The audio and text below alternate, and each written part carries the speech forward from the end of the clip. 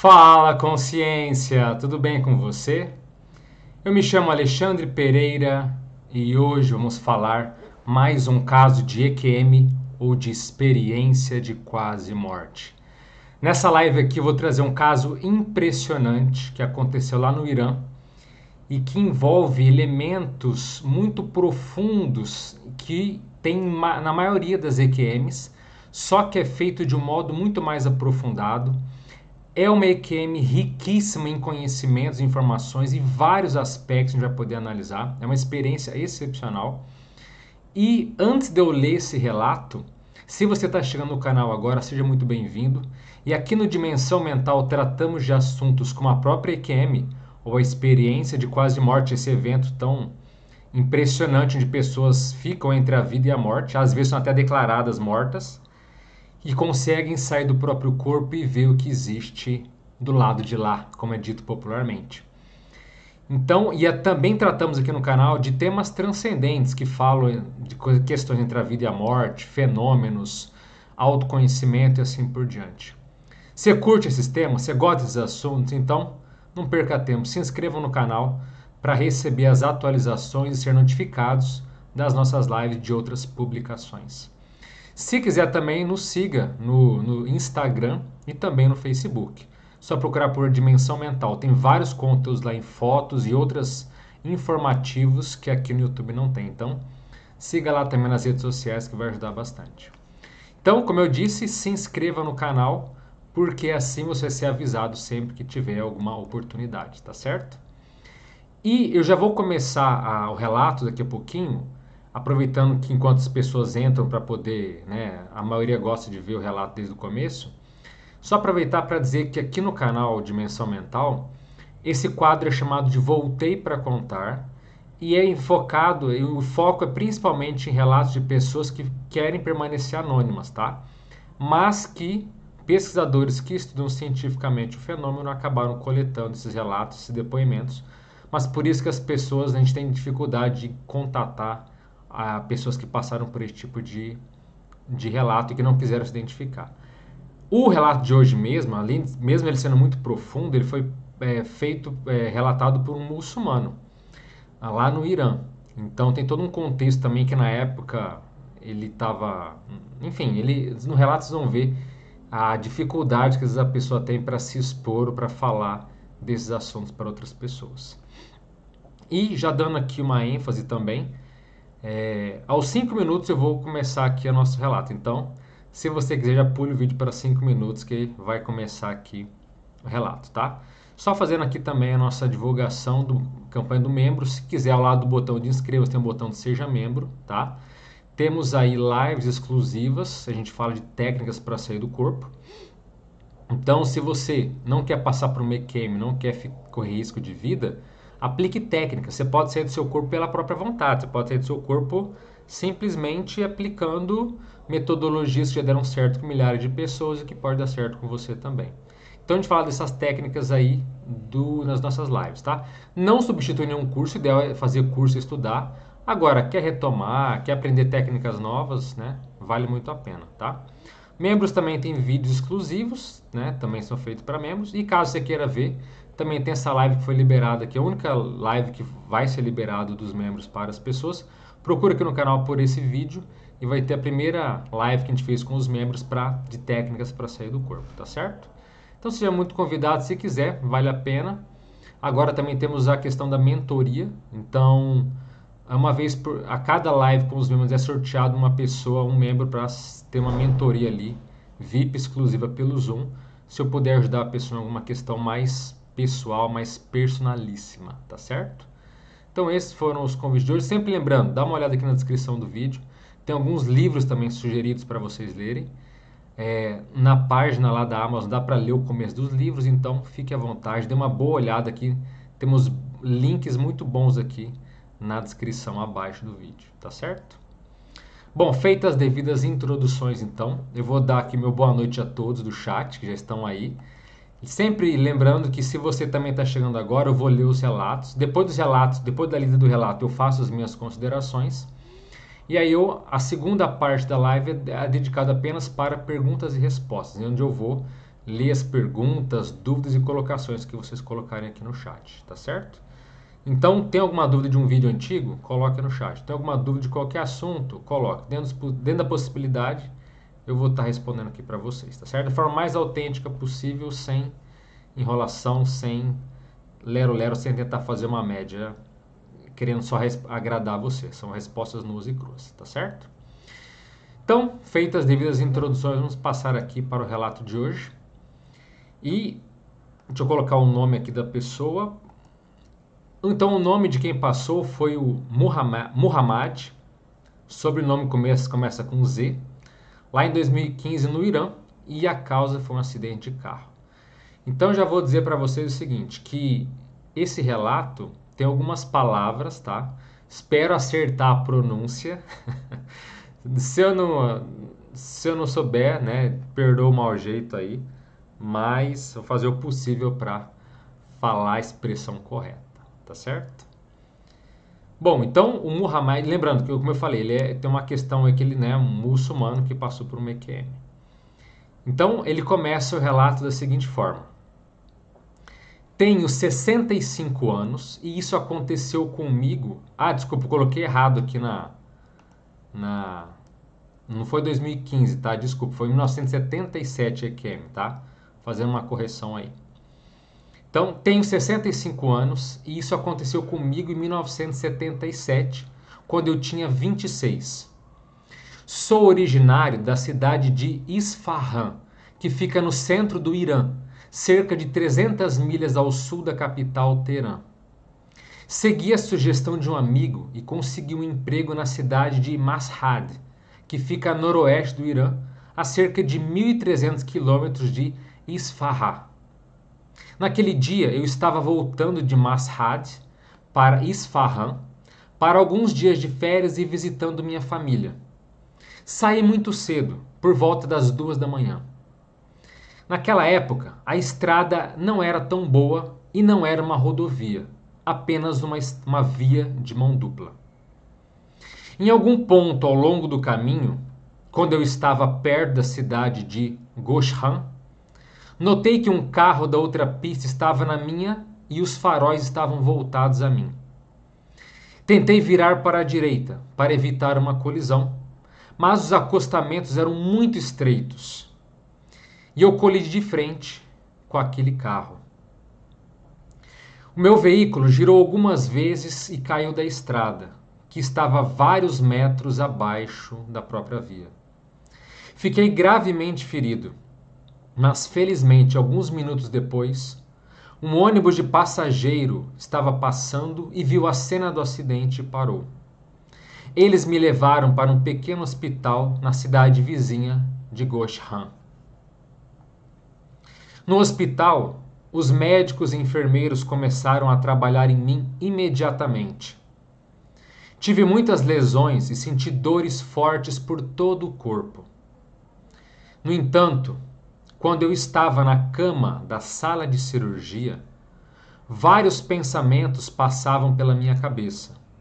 Por exemplo, eu estava preocupado que, se eu não relatasse meu trabalho a tempo, em alguns dias, eles poderiam entregar ele para outra pessoa. Ao mesmo tempo, fiquei muito zangado com meu amigo que me incentivou a aceitar esse emprego em uma cidade longe da minha família. Eu o culpei por viver longe dela, causando meu acidente e minha miséria. Eu estava frustrado com tudo e todos. Senti que este mundo e minha vida estavam uma bagunça total e nada estava no lugar certo. Minha mente estava cheia de reclamações e de raiva. Não fui anestesiado e não entrei em coma. Lembro que uma jovem de cerca de 22 anos entrou na sala. Ela parecia ser inexperiente e bastante nova no hospital. Ela era linda e eu desejei não estar naquela bagunça para poder falar com ela e fazer amizade. Mais uma vez, eu estava distraído por uma dor insuportável e todos os pensamentos de raiva que estavam passando na minha cabeça. Minha atenção estava constantemente mudando da minha dor para a minha raiva e para aquela jovem. Para frente e para trás, e voltas e mais voltas. De repente, senti que tudo mudou. Senti uma profunda calma e paz me envolvendo. Esse sentimento era totalmente oposto ao que eu estava sentindo alguns minutos atrás. Eu não estava mais com raiva e estava vendo perfeição em tudo no mundo e ao meu redor. Agora, eu estava sentindo que tudo estava exatamente do jeito que deveria ser. Sempre que concentrava minha atenção em qualquer objeto ou assunto, conseguia obter insights profundos e completos sobre ele. Eu podia até entender, por exemplo, as composições químicas dos objetos que eu olhava e todas as suas propriedades físicas e matemáticas. Mudei minha atenção para aquela jovem novamente. Ela parecia um pouco diferente de alguns minutos atrás. Percebi que a estava vendo em 360 graus ao redor dela, como se a tivesse engolido totalmente. Eu podia ver seus pensamentos e sentimentos também. Na verdade, senti que estava presente em todo o hospital. Pude ver que ela tinha muita tristeza e preocupação com o que estava vendo. Ela estava pensando que era tão triste que esse jovem estivesse morrendo assim? Tentei acalmá-la e lhe dizer que estava bem e que não havia nada de errado comigo. Na verdade, nunca me senti tão bem na minha vida. Mas ela continuou me ignorando, como se não me visse e nem me ouvisse. Percebi que ela estava olhando para um ponto fixo. Segui a direção do seu olhar e notei que ela estava vendo um corpo de um jovem deitado em uma cama. Fiquei chocado, porque esse homem tinha semelhanças impressionantes comigo. Eu me perguntei quem ele era e por que ele se parecia tanto comigo. Eu até pensei que talvez eu tivesse um irmão gêmeo que eu não conhecesse e que tivesse e que estivesse no mesmo hospital. Tentei bater no ombro da jovem para chamar sua atenção, mas minha mão simplesmente passou por seu corpo sem qualquer resistência. Eu estava tão intrigado com aquilo. Olhei para mim e vi que tinha um corpo transparente e iluminado. E eu fiquei confuso e ao mesmo tempo chocado. Comecei a pensar comigo mesmo: eu estou morto? Este é o meu corpo deitado na cama? Meu Deus, minha mãe vai ficar tão devastada. Ela está me esperando de volta para casa amanhã. Só que, assim que eu pensei em minha mãe, imediatamente me encontrei na frente dela em nossa casa em Isfahan. É difícil explicar, mas estranhamente eu ainda estava no hospital também. Eu estava atento e vendo tudo ali, sem nenhuma dificuldade ou confusão. Minha presença em casa não diminuiu em nada minha consciência e noção do hospital. Era como se eu tivesse sido dividido em dois pedaços, com a mesma consciência. Minha mãe estava sentada no pátio preparando alguns legumes para o jantar. Fui atrás dela para abraçá-la por trás, para surpreendê-la. Mais uma vez, para minha surpresa, minhas mãos atravessaram seu corpo. Tentei falar com ela, mas ela não prestou atenção em mim. Durante esse período, enquanto pensava em vários amigos e parentes, instantaneamente eu fui até eles, ainda presente em locais anteriores do hospital, na casa de minha mãe, etc.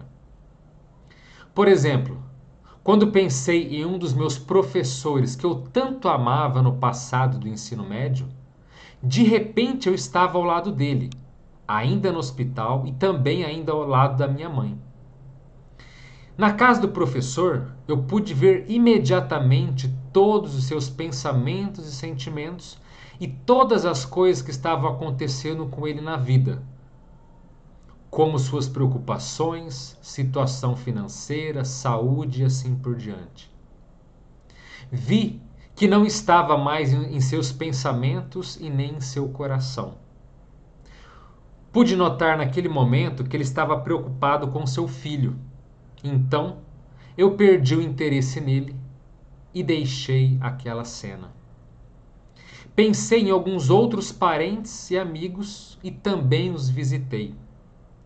Em todos os casos, tentava me comunicar com a pessoa que estava visitando e torná-la ciente da minha presença, mas sempre sem sucesso. Percebi que não adiantava tentar me comunicar com os outros. Ninguém podia me ver ou ouvir. Enquanto isso, eu estava vendo tudo lá no hospital. Lá, os médicos me declararam morto e escreveram algumas notas no meu prontuário, da seguinte forma: Reanimação mal sucedida. O paciente é declarado morto em três pontinhos. Eles jogaram um lençol no meu rosto e me colocaram em outra cama com rodinhas. Depois me transferiram para um quarto, onde mantinham temporariamente os mortos antes de mandá-los para o necrotério do hospital. Em algum momento da minha experiência, passei muito rápido por um túnel e me movi em direção a uma luz brilhante no fim dela. Não posso colocar com precisão quando isso aconteceu em minha experiência, pois o tempo perdeu seu significado. Eu fui a um lugar, a um lugar muito agradável, feito de luz. Senti que aquela era minha verdadeira casa aonde eu realmente pertencia. Minha presença na, na Terra parecia uma deportação para um estranho, uma ilha isolada, incompatível e desagradável. Onde eu estava agora não havia nem passado nem futuro, nem perto nem longe, nem alto ou baixo, nem escuridão ou luz. Todas as coisas relativas perderam sentido. Tudo parecia estar em absoluta perfeição havia outras almas lá também. Alguns com mais luz e possibilidades do que eu, e outros com menos. Nunca senti inveja daqueles que eram mais avançados e que tinham mais luz do que eu. Ficou bem entendido que cada um de nós está onde deveria, de acordo com sua própria capacidade e crescimento pessoal. Não tive nenhum sentimento ruim de que sou menos avançado do que algumas outras almas. E quando eu estava visitando minha mãe e alguns de meus velhos amigos e parentes, eu tive a vaga sensação de que havia uma presença que me seguia o tempo todo, como uma sombra. Mas eu estava tão absorto na maravilha de toda essa experiência de meus pensamentos, de que, do que estava acontecendo comigo, e que eu realmente não prestei atenção naquela presença. Eventualmente, eu o notei e percebi que estava comigo. Ele era uma figura humana incrível e divina que irradiava muito amor e muita luz. Instantaneamente me apaixonei por aquela presença sagrada e imensamente bela. Percebi que ele me ama profunda e incondicionalmente. Primeiro pensei que deveria ser um profeta ou figura religiosa, mas depois notei que ele está acima de tudo isso. Percebi que ele sempre esteve comigo durante toda a minha vida, sempre ao meu lado. Era o meu guia. Entendi que todo mundo que morre tem um guia. Mas alguns humanos estão tão apegados ao seu mundo físico e material que ainda se preocupam com seu dinheiro, suas posses ou o poder mesmo após a morte. E eles não percebem o seu guia e podem nem mesmo perceber que estão mortos. Sua alma pode ficar presa à terra por muito tempo, mesmo após a sua morte. Por exemplo, meu guia me mostrou um homem que aparentemente ocupava uma posição de autoridade e de poder na terra. Após a morte este homem, após a morte deste homem, ele ainda, foi, ele ainda ia ao escritório que trabalhava, tentando sentar na mesma cadeira e assinar documentos. Ele estava alheio ao fato de que sua assinatura não deixava marcas e que ele não tinha mais o poder e efeito no mundo físico. Ele continuava indo para aquele escritório tentando assinar coisas e agir como se ainda estivesse trabalhando lá, sem perceber que estava morto. Eu tenho esse entendimento de que qualquer forte apego ao planeta pode impedir que nossas almas se elevem. E eu vi pessoas que cometeram suicídio e elas pareciam ter a pior situação entre todas as almas terrenas.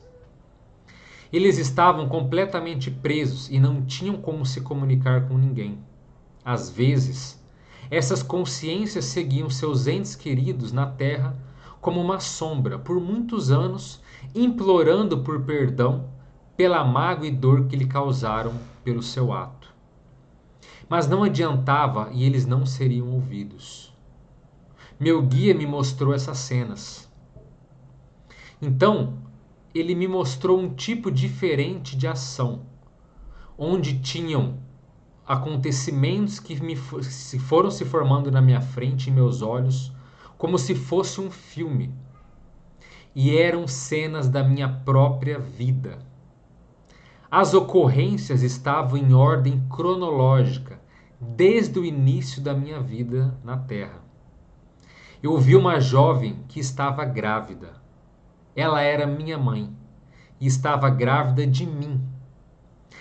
Eu, eu me vi entrando em seu corpo como se fosse uma onda.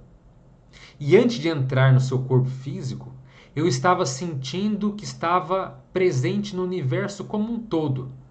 Mas de alguma forma, parte de mim se concentrou para longe dessa totalidade e focou no mundo físico para o corpo de minha mãe.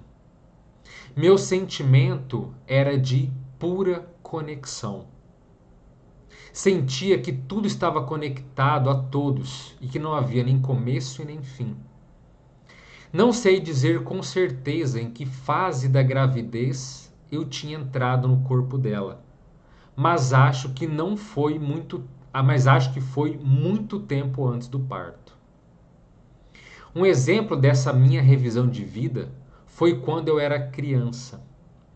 Estávamos viajando de carro e paramos em algum lugar ao longo do caminho. Havia um rio não muito longe da estrada e me pediram para ir trazer um balde de água daquele rio. Eu fui encher o balde, mas no caminho de volta senti que o balde era muito pesado para mim. Resolvi esvaziar um pouco a água para deixar o balde mais leve. Em vez de esvaziar a água ali mesmo, notei uma árvore que estava sozinha em um pedaço de terra seca. Eu me esforcei para sair do meu caminho até aquela árvore e esvaziei um pouco de água na base dela. Eu até esperei alguns segundos para ter certeza que a água seria embebida pelo solo e ser absorvida. Na minha revisão de vida, Percebi tal aplauso e alegria por este simples ato que achei inacreditável. Foi como se todos os espíritos do universo estivessem cheios de alegria com esse simples ato e me dissessem que estavam orgulhosos de mim. Aquele simples ato parecia ser uma das melhores coisas que eu já tinha feito na minha vida. Isso foi muito estranho porque eu não achava que esse pequeno gesto fosse grande coisa, e achava que tinha feito coisas muito mais importantes e maiores. No entanto, me foi mostrado que o que eu tinha feito era extremamente valioso, porque o que eu fizera foi feito puramente de coração, sem absolutamente nenhuma expectativa de ganho próprio. Outro exemplo da minha revisão de vida foi quando eu era um menino de 10 anos. Eu havia intimidado e espancado impiedosamente outro garoto que também tinha minha idade. Ele se sentiu torturado e profundamente magoado. E nessa revisão, eu vi aquela cena novamente. E enquanto caminhava na rua chorando e voltando para casa, ele irradiava uma energia negativa que afetava tudo ao seu redor e no seu caminho. Pessoas e até pássaros, árvores e moscas receberam dele essa energia negativa que continuou se propagando por todo o universo. Até as pedras do lado da rua foram afetadas por sua dor. Eu vi que tudo está vivo, entre aspas, e nossa maneira de agrupar as coisas em categorias de vivo e não vivo é apenas do nosso ponto de vista físico limitado. Na realidade, tudo está vivo. Eu senti toda a dor e mágoa que eu tinha infligido a ele dentro de mim. Quando esse menino foi para casa com seus pais, viu o impacto de vê-lo naquele estado, viu o impacto de vê-lo naquele estado e que isso afetou profundamente seus pais. Eu senti todo o sentimento e a dor que isso criou neles e como isso afetou seu comportamento daquele ponto em diante. Vi que, como resultado dessa ação, seus pais sempre ficavam mais preocupados quando o filho estava fora de casa ou se ele se atrasava alguns minutos. Percebi que sempre que fiz algo de bom a alguém ou alguma coisa, fiz isso a mim mesmo. E sempre que machuquei o outro, fiz isso a mim mesmo enquanto realmente fazia um favor a essa pessoa, porque ela receberia alguma forma de compensação ou ajuda do universo como resultado. Esse presente universal seria maior do que o dano que eu havia causado a ele. Eu queria ficar no mundo de amor, de paz e luz, mas eles me lembraram de minhas responsabilidades na terra. Discuti me recusei a voltar. E eles me disseram que se eu não voltasse, eu não poderia alcançar certas capacidades espirituais que eu receberia se voltasse à Terra. Eu ainda não queria voltar e preferia ficar lá. Finalmente, eles me mostraram partes do meu futuro e como se eu voltasse, isso afetaria muitas outras pessoas e as ajudaria a ver a luz. Quando percebi o quanto meu retorno à Terra ajudaria os outros, mal podia esperar para retornar. No entanto, essas cenas do meu futuro foram apagadas da minha memória ao retornar ao meu corpo.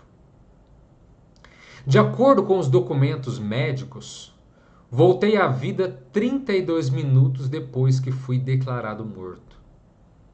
Durante esse tempo eu vi tantas coisas, foi como se vários meses ou se não anos se passaram para mim. Um dos funcionários do hospital que estava passando pelo quarto em que meu corpo foi deixado ouviu um pequeno barulho vindo de dentro da sala. Correu para o quarto e descobriu que eu estava respirando novamente. E durante anos eu escondi minha, minha experiência de pessoas, porque sempre que falava sobre isso, enfrentava seu ridículo, seu julgamento negativo ou acusação de alucinação e de estar inventando histórias. Depois de muitos anos, vi um livro sobre EQMs e notei que outras pessoas tiveram experiências semelhantes à minha. Embora os detalhes das suas vivências possam ser diferentes, ou eles possam ter expressado a sua experiência de maneira diferenciada, ainda tínhamos é, relações semelhantes. Depois de ver este livro, fiquei muito ansioso para encontrar outras pessoas que também tiveram experiências de quase morte e poder conhecê-las pessoalmente. Até mudei de emprego e comecei a trabalhar na seção de serviços médicos de hospital para conhecer outras pessoas que passaram por um EQM. E gradualmente, os fenômenos da experiência de quase morte se tornaram mais conhecidos e aceitos na sociedade. As pessoas ficaram mais abertas a ouvir minha história. Hoje em dia, em média, eu conto ela uma ou duas vezes por mês para várias pessoas em reuniões de amigos ou de pessoas interessadas. Ao contrário do passado, agora as pessoas, especialmente os mais jovens, se mostram muito mais interessados em ouvir sobre a minha experiência e parece que tudo isso os afeta de uma maneira positiva. Esse foi o relato do Muhammad, um relato aí impressionante em diversos aspectos. E antes de passar aqui a atenção para as perguntas, dúvidas e colocações de vocês aí no chat, eu gostaria de fazer algumas considerações breves do que aconteceu com ele. O primeiro ponto, que é um caso já mais raro de se acontecer hum, em uma EQM, é justamente o fato dele ter um conhecimento instantâneo e profundo sobre qualquer ação ou assunto que ele focar seu pensamento. Então ele diz que se ele pensa, olhasse para um objeto, ele saberia tudo aquele objeto. A parte física, química, matemática, tudo que envolvia aquele objeto, ele tinha um conhecimento profundo sobre aquilo. E não apenas objeto, mas qualquer assunto que ele tivesse interesse. Esse tipo de leitura energética, ele não é tão comum, ainda mais com essa facilidade e nessa, desculpa, profundidade. Então, esse é o primeiro ponto que chama bastante atenção. E é exatamente o que você está pensando, a gente fora do corpo pode ter isso. Então, muitas pessoas ficam assim: ah, mas vale a pena sair do corpo? Pensa bem, se você tivesse só essa habilidade fora do corpo, tá? Então, qualquer você está fora do corpo, qualquer assunto que você pensa, você entende profundamente. Valeria a pena sair do corpo? Valeria a pena passar as noites aplicando técnica só para isso? Eu acho que valeria. Então, você quer entender sobre, sei lá, vida após a morte, quer entender sobre múltiplas vidas, quer entender sobre domínio emocional, quer entender sobre ética, você quer entender sobre, sei lá, saúde, finanças, qualquer assunto que você focaliza, você ah, tem uma. Um, é que nem o Matrix, você tem um download, você aprofunda aquilo ali. Fantástico, fora de série, tá? Então, tanto em EQMs quanto em experiências fora do corpo, espontâneas ou induzidas, é possível esse tipo de fenômeno, apesar de ser um pouco mais raro, tá certo?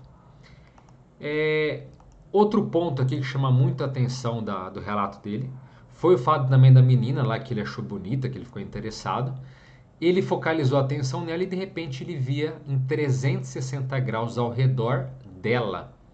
Não é que a visão dele tinha 360 graus. Isso é até comum em muitas experiências fora do corpo. Você enxergar em todas as direções simultaneamente, tá? Se você está ouvindo esses assuntos agora, parece estranho, mas não é, tá? Fora do corpo, a visão tem várias características. Aqui no canal mesmo tem um vídeo que eu falo sobre EQM e as possibilidades de visão existentes. Agora, no caso, ele estava vendo 360 graus ao redor da menina. Então ele podia ver como se ele tivesse. Ele falou, parece que ele tinha engolido ela. Então tudo em volta dela, ao redor dela, ele conseguia ver e compreender. Inclusive seus pensamentos e sentimentos. E para você ver né, como às vezes a lucidez ou como o amadurismo pode afetar a, a própria questão, a própria experiência da pessoa porque a gente às vezes acha que está tendo uma, uma visão e está tendo outra diferente. Por que, que eu estou dizendo isso? Porque ele olhou para a garota, ela viu que ela estava focalizando um ponto fixo. Quando ela foi, ele foi olhar o que era aquele ponto, ela estava olhando para uma pessoa que era muito parecida com ele. Ele falou: Caramba, quem que é essa pessoa que se parece tanto comigo? Será que eu tenho algum irmão gêmeo? Será que o irmão gêmeo que está aqui no hospital também? Quer dizer, ele não conseguia identificar o próprio corpo físico. Só que ao tentar tocar na menina, ele viu que a mão atravessou ela sem resistência. Ele falou: opa, peraí, eu atravessei, quer dizer, será que eu estou morto? Aí que ele se deu conta de que ele estava fora do corpo, que aquilo que ele estava olhando era o seu corpo físico ali, inanimado na cama. Então, esse tipo de gafe, esse tipo de, vamos dizer assim, é uma gafe sutil, né? Você, nossa, quem que é essa pessoa? Opa, sou eu, quer dizer, é o meu corpo físico. Esse tipo de coisa acontece muito em quem não conhece, em quem está tendo as primeiras experiências, faz parte.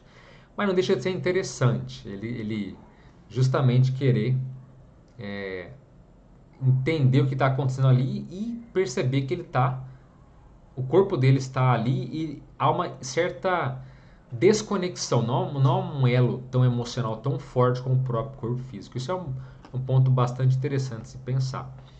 Outra questão que chama muita atenção aqui na EQM dele foi justamente a transição, melhor dizendo, a, o deslocamento. Então, onde ele pensava, ele estava. Isso já é um ponto que mostra que ele tinha muita capacidade fora do corpo. Porque em muitas EQMs mesmo, a gente vê que a pessoa, ela, ela para se deslocar para um outro local, ela tem que atravessar um túnel de luz. Ele também atravessou um túnel de luz, ok, mas foi no momento, né, num outro momento. Mas aqui, na, no mundo físico, aqui na dimensão humana, aonde ele pensava, ele estava. E em outras dimensões fora do corpo, isso também acontece. Então você fala, ah, eu quero agora estar na Amazônia, você vai para a Amazônia. Não, agora eu quero estar ah, nas pirâmides do Egito, você vai. Tipo aquele filme Jumper, né? onde a pessoa pensa, onde ela foca a atenção, ela vai. Fora do corpo, é assim mesmo, tá? Para quem tem um pouco mais de habilidade, um pouco mais de traquejo, pensou, você está lá. Isso é o que aconteceu com ele.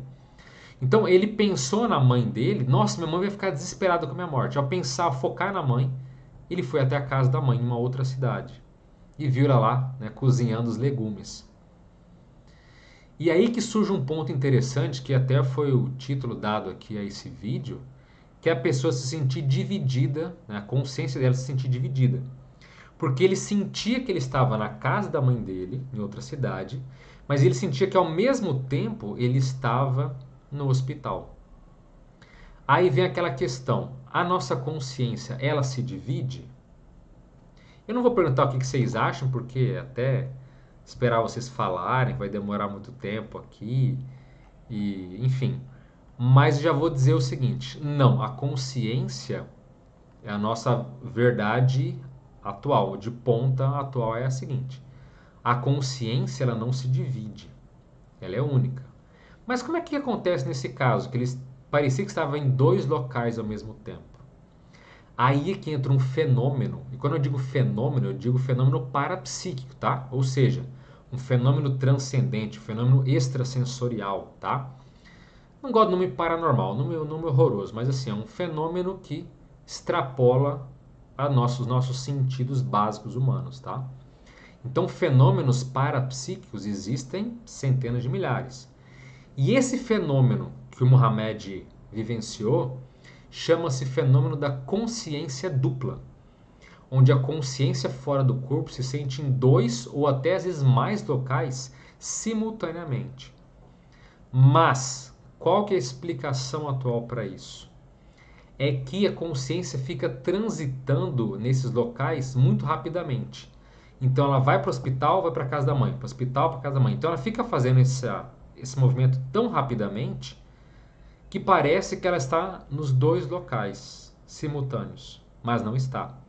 Ela está, na verdade, é, se deslocando muito rapidamente, indo e voltando entre ambos os locais. Tá? Então, essa é a explicação atual. E esse fenômeno já não é tão.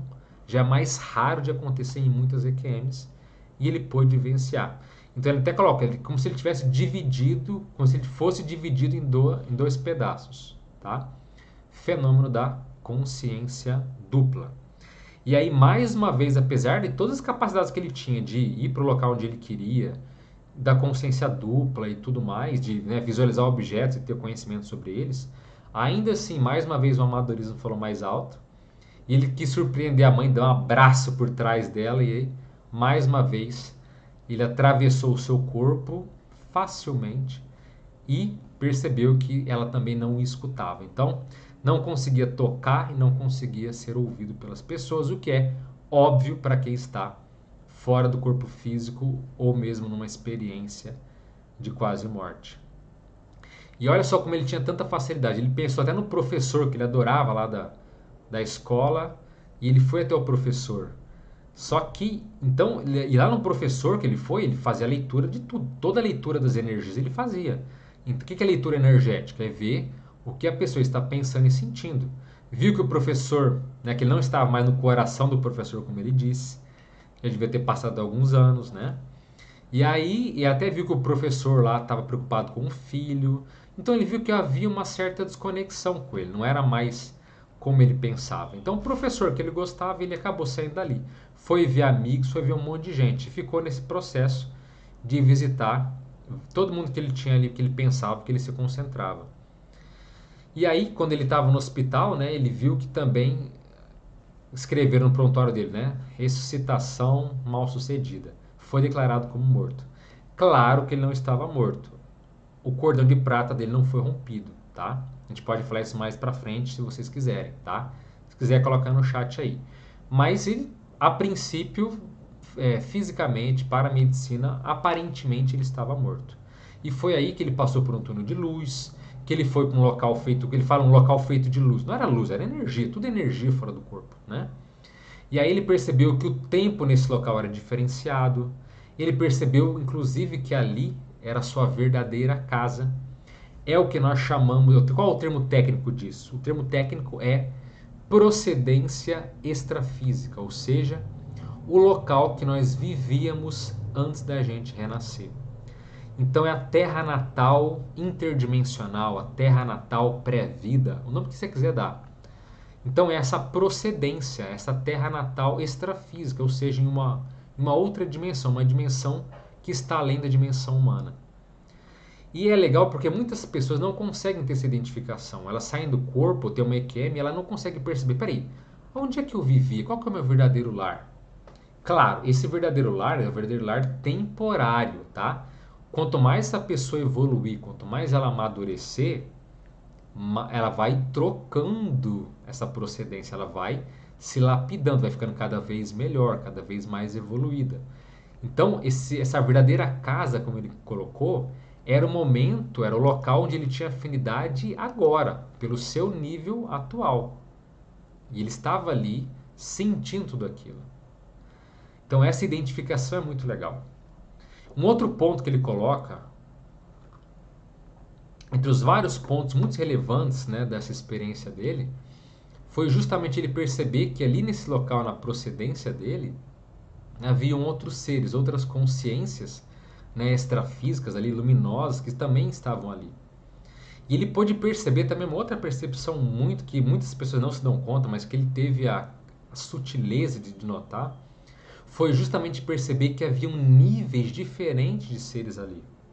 Então havia seres mais evoluídos do que ele, mais amadurecidos, e seres menos. Ele até fala que ele, ele não tinha inveja de ninguém, mas ele sabia que cada um ali tinha uma condição específica. E isso eu vivo falando aqui no canal. Nós não somos iguais. Cada um está num nível evolutivo específico. Podem ser níveis até semelhantes, mas nunca iguais. Nenhuma consciência é igual. Todos nós somos únicos. E ali naquela comunidade, naquele, naquele local extrafísico, naquela outra dimensão, ele percebeu então que tinha seres que tinham já avançado um pouco mais do que ele. E, e, isso é muito legal, porque isso não afetou o ego, não afetou a sua autoestima, dizer, nossa, mas essas pessoas são mais evoluídas que eu. Quer dizer que eu sou ruim, quer dizer que eu sou uma droga, quer dizer que eu ainda tenho que amadurecer mais todos esses pensamentos bobocas, às vezes até canalhas que as pessoas têm em relação a si mesma, nada disso existiu. Então ele conviveu muito bem com essa diferença de maturidade com aqueles outros que estavam ali. Isso é muito interessante. Então, uma pessoa que ainda é um bandido, que é um criminoso, ela tem um nível evolutivo dela, ainda mais inferior. Passa a vida inteira só fazendo bobagem, tá atrapalhando, prejudicando os outros, às vezes muito egoísta. E existem seres de extrema bondade, benevolência e fraternidade que doam toda a sua vida em função dos outros, em favor dos outros. Isso é maravilhoso. Então, níveis evolutivos existem e essa percepção dele foi muito interessante. Outro ponto aqui já, já estou, já brevemente já encerro aqui os meus comentários e passo para as suas perguntas. Ele percebeu que havia uma presença com ele e que ele chamou de guia, guia espiritual. O que também na Equema é conhecido como ser de luz ou como nós chamamos, né, que é o amparador.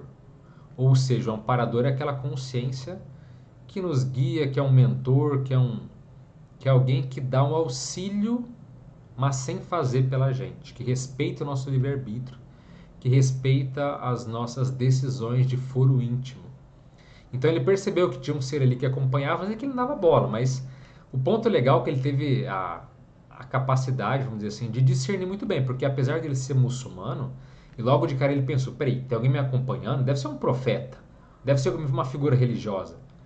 Mas depois ele olhou, olhou até porque ele tinha essa capacidade de concentração e de percepção, ele olhou e falou: não, isso aqui, né, isso aqui é o meu guia, isso aqui é aquele, aquela consciência que me acompanhou durante a vida, em alguns momentos, para poder me ajudar. Então, muito legal. Ele já não deduziu logo que era Alá, ou que podia ser um profeta, lá, o profeta Jesus, eu não sei quem, não. Ele simplesmente, apesar da, do processo muçulmano dele, ele teve uma, uma visão mais clara de que era alguém que estava ali o ajudando. E o outro ponto interessante também que Segui mostrou para ele várias cenas de pessoas que não sabiam que tinham morrido. E que ele pôde ver que não era tão distante assim, porque ele mesmo achava que estava na sala querendo conversar com a garota, achando que tinha até o irmão gêmeo deitado na cama ali, e não percebeu que né, tentou tocar na garota, tentava falar com ela, ninguém ouvia, tentou abraçar e falar com a mãe, também não percebia. E ele viu que outras pessoas também passavam por isso, mas não no MQM, mas após a morte. Então a pessoa lá indo para o escritório assinar, querendo ainda ter sua autoridade, não sabendo que tinha descartado o corpo. É, enfim, a, a, própria questão das pessoas que tiraram a própria vida, que estavam ali também perturbadas, querendo pedir perdão para os familiares, não conseguiam. Então, assim, ele viu várias cenas de outras pessoas, o que também não é muito comum, né, Ken? Porque você vê cenas da sua própria vida, ok, mas ver cenas que representam, que são didáticas para te mostrar outras realidades, aí nem tanto. Então, muito legal isso que ele viu, ele poder ver outras pessoas achando que estão ali vivas, tendo ações e, no entanto, não se dando conta do que aconteceu, do descarte do corpo que aconteceu com elas, né? Outro ponto que chama bastante atenção, a chamada revisão de vida, que é um fenômeno chamado de visão panorâmica. Também temos um vídeo aqui no canal. Procura lá revisão de vida que eu explico. É um vídeo que não é relato, tá? É um vídeo que traz conhecimento sobre esse tema. E nessa revisão de vida dele, onde ele viu como um filme as várias cenas do que aconteceu desde o início, inclusive foi bem do início mesmo da vida dele porque esse é um ponto também mais raro de se ver nas RQMs, e pelo menos que as pessoas relatam. Que durante a revisão de vida, ele viu o momento que ele então entrou na barriga da mãe dele como uma onda. Então, o momento que ele se ligou na gravidez da própria mãe. Então, esse é um ponto porque geralmente as pessoas relatam, né? Mas não. Ó, eu me vi ali entrando na barriga da minha mãe. Então, isso foi bem legal. Ele, assim como outros padrões que acontecem nas RQMs, ele também ter como um filme fez toda essa retrospectiva da vida, o que, que ele fez de positivo, de negativo, ficou revendo tudo. E um ponto que chama atenção é como ele, ele criança, ele foi carregar um balde d'água, estava pesado, ele falou, ah, vou jogar um pouco de água fora. Mas ele olhou uma árvore ali e falou, vou jogar água nessa árvore. Só que vamos lembrar o seguinte, ele estava no Irã. O Irã, gente, não é como o Brasil, não é um país tropical de florestas maravilhosas. Ali é um país seco e tinha uma árvore sozinha na terra seca. Então ele pensou: opa, vou jogar a água aqui na, nessa árvore que está isolada. Então ele andou ainda, tem que sair do caminho dele, andou um tanto e jogou. Então, naquela condição de secura, de terra árida, aquele gesto foi muito aplaudido pelos amparadores, pelo guia dele, por aqueles que estavam ali naquela situação e ele ficou assim impressionado. Mas peraí, mas eu só joguei um pouco de água numa árvore. Mas é toda uma condição de aquela árvore devia estar precisando, devia estar nas esmagonias, sei lá, dentro do contexto de vida que aquele ser ainda primitivo tem, mas já é uma vida. E isso, foi, isso teve relevância, fora outras pequenas coisas. Então, como a gente sempre fala, na EQM, o que ela ressalta pra gente não é a fama, não é dinheiro, não é poder temporal, não é status, não é nada disso. São pequenos gestos, pequenas coisas que do lado de lá se valoriza. Até brinquei em outras lives aqui. Ninguém te aplaude, meus parabéns, você conseguiu ter um milhão de dólares no banco. Não tem uma experiência com isso. Nossa, suas joias são fabulosas, parabéns, viu? Ó, a sua mansão, ela é formidável. Ninguém fala isso, ninguém liga para isso. Então, os valores pós-morte são bem diferentes do que a nossa sociedade cultua ou valoriza aqui, tá certo? Outro ponto também muito interessante dessa experiência, que eu julgo assim, excepcional, não sei o que vocês acharam, mas é justamente o ponto também que ele ali com 10 anos dele brigar e espancar um outro garoto da mesma idade. E ele conseguia ali, nessa revisão da vida, perceber as energias negativas que esse garoto foi jogando ao longo do caminho. Então vocês repararam que ele colocou que aquela criança saiu ali chorando, com dor, magoada, ferida. Aquela energia ruim dela foi afetando pássaros, árvores, mosca, a própria casa dele quando ele chegou, quer dizer, olha o quanto que essa energia de fato existe, ela é negativa. Então a gente tem que estar muito atento ao que a gente pensa e sente, porque se na sua casa você pensar coisas ruins, negativas, ficar ali tramando coisas contra os outros, ficar confabulando, sabe, o que, que você pode é, atrapalhar, ou dar uma espionada, ou sacanear alguém, tudo isso é energia negativa que intoxica, contamina o local que você vive. Se na sua casa você tem pensamentos mais fraternais, benevolentes e assim por diante, é o contrário, você está colocando energias positivas nos seus ambientes. Olha um dos últimos vídeos que eu coloquei aqui, Equêmio, que não é dito das emoções. Eu falo bem sobre isso. O quanto que as nossas emoções podem é, contribuir para o ambiente, quanto que elas podem atrapalhar, prejudicar. Isso ele viu na prática aqui. Ele viu a criança espancada jogando. Não é porque a criança quer falar, vou jogar energia. Não. São os pensamentos e as emoções conturbadas, equilibradas, que vão deixando um rastro negativo pelo caminho por onde essa consciência passa. Isso é horrível. Então, quando a gente prejudica os outros, a gente está causando mal para tudo, porque essa pessoa vai espalhar uma energia péssima. Isso ele pode ver também na prática, o que é muito é, legal desse período, muito interessante que a gente pode observar nesse sentido, certo? Vamos ver o que é mais que eu posso falar aqui. Ah, ele passou também 32 minutos nesse processo que ele foi declarado morto. Ele fala que passaram-se meses ou mesmo talvez anos de tudo que ele foi vivenciando, porque o tempo tinha uma variável diferenciada. Eu vi falando aqui que o tempo é um, é um processo com, é complexo. E realmente ali ele pôde ver que alguém fala, ah, pode ficar, parece ter a sensação de passar muito tempo fora do corpo, com certeza. Foi o caso aqui dele. Então, a impressão que passou foi muito mais. Agora, ele não ficou só 32 minutos fora do corpo. Ele ficou bem mais, até porque antes de ser declarado como morto, ele já estava fora do corpo, ele já tinha visto a menina, então ele ficou um pouco mais do que essa meia hora, tá? Mas, de um modo geral, a percepção do tempo, para a pessoa dizer que passaram-se meses ou mesmo anos, mostra o quanto que isso é diferenciado. E olha só que interessante, para finalizar aqui a minha breve análise, a minha análise en passant, como se diz. É, ele não queria voltar, mas quando falaram, olha, se você voltar, outras pessoas vão poder, você vai ajudar outras pessoas a também visualizarem a luz, quer dizer, visualizarem outras dimensões, visualizarem as possibilidades da vida após a morte. E ele voltou, então ele ficou animado e voltou, mas naquela época, na década de 70, não dava para falar para muita gente. Com o passar do tempo, houve mais interesse, mais abertismo e hoje a gente pode falar isso aqui sem ser queimado, sem ser perseguido, é uma maravilha. Pelo menos não por enquanto.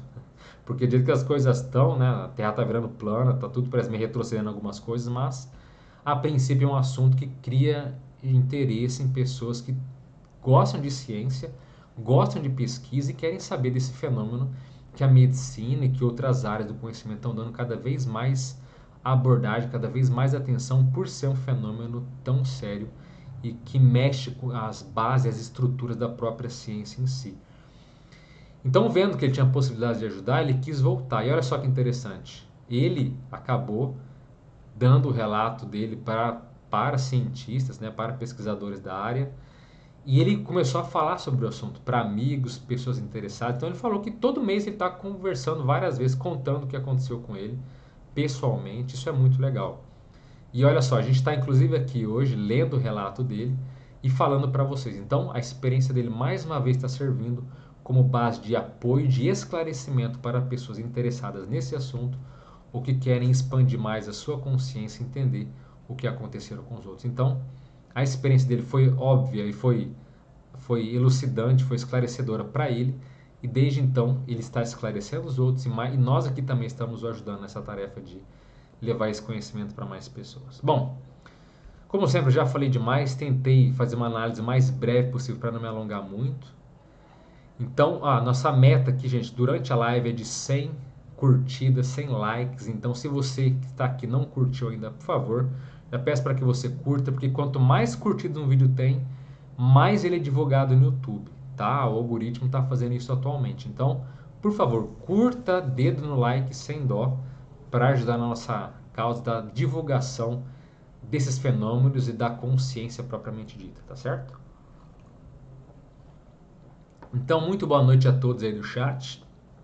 Opa, tem uma engasgada. Sebastião, que é nosso membro, seja muito bem-vindo, boa noite. Tereza Valeriano, boa noite, lá da Itália, boa noite, Tereza. A Nádia, boa noite, Nádia. Carla, de Recife, boa noite. Carla, não vi se você me respondeu no na, na mensagem, eu não achei sua mensagem lá pra gente ver, marcar a mentoria, tá? Que você foi sorteada.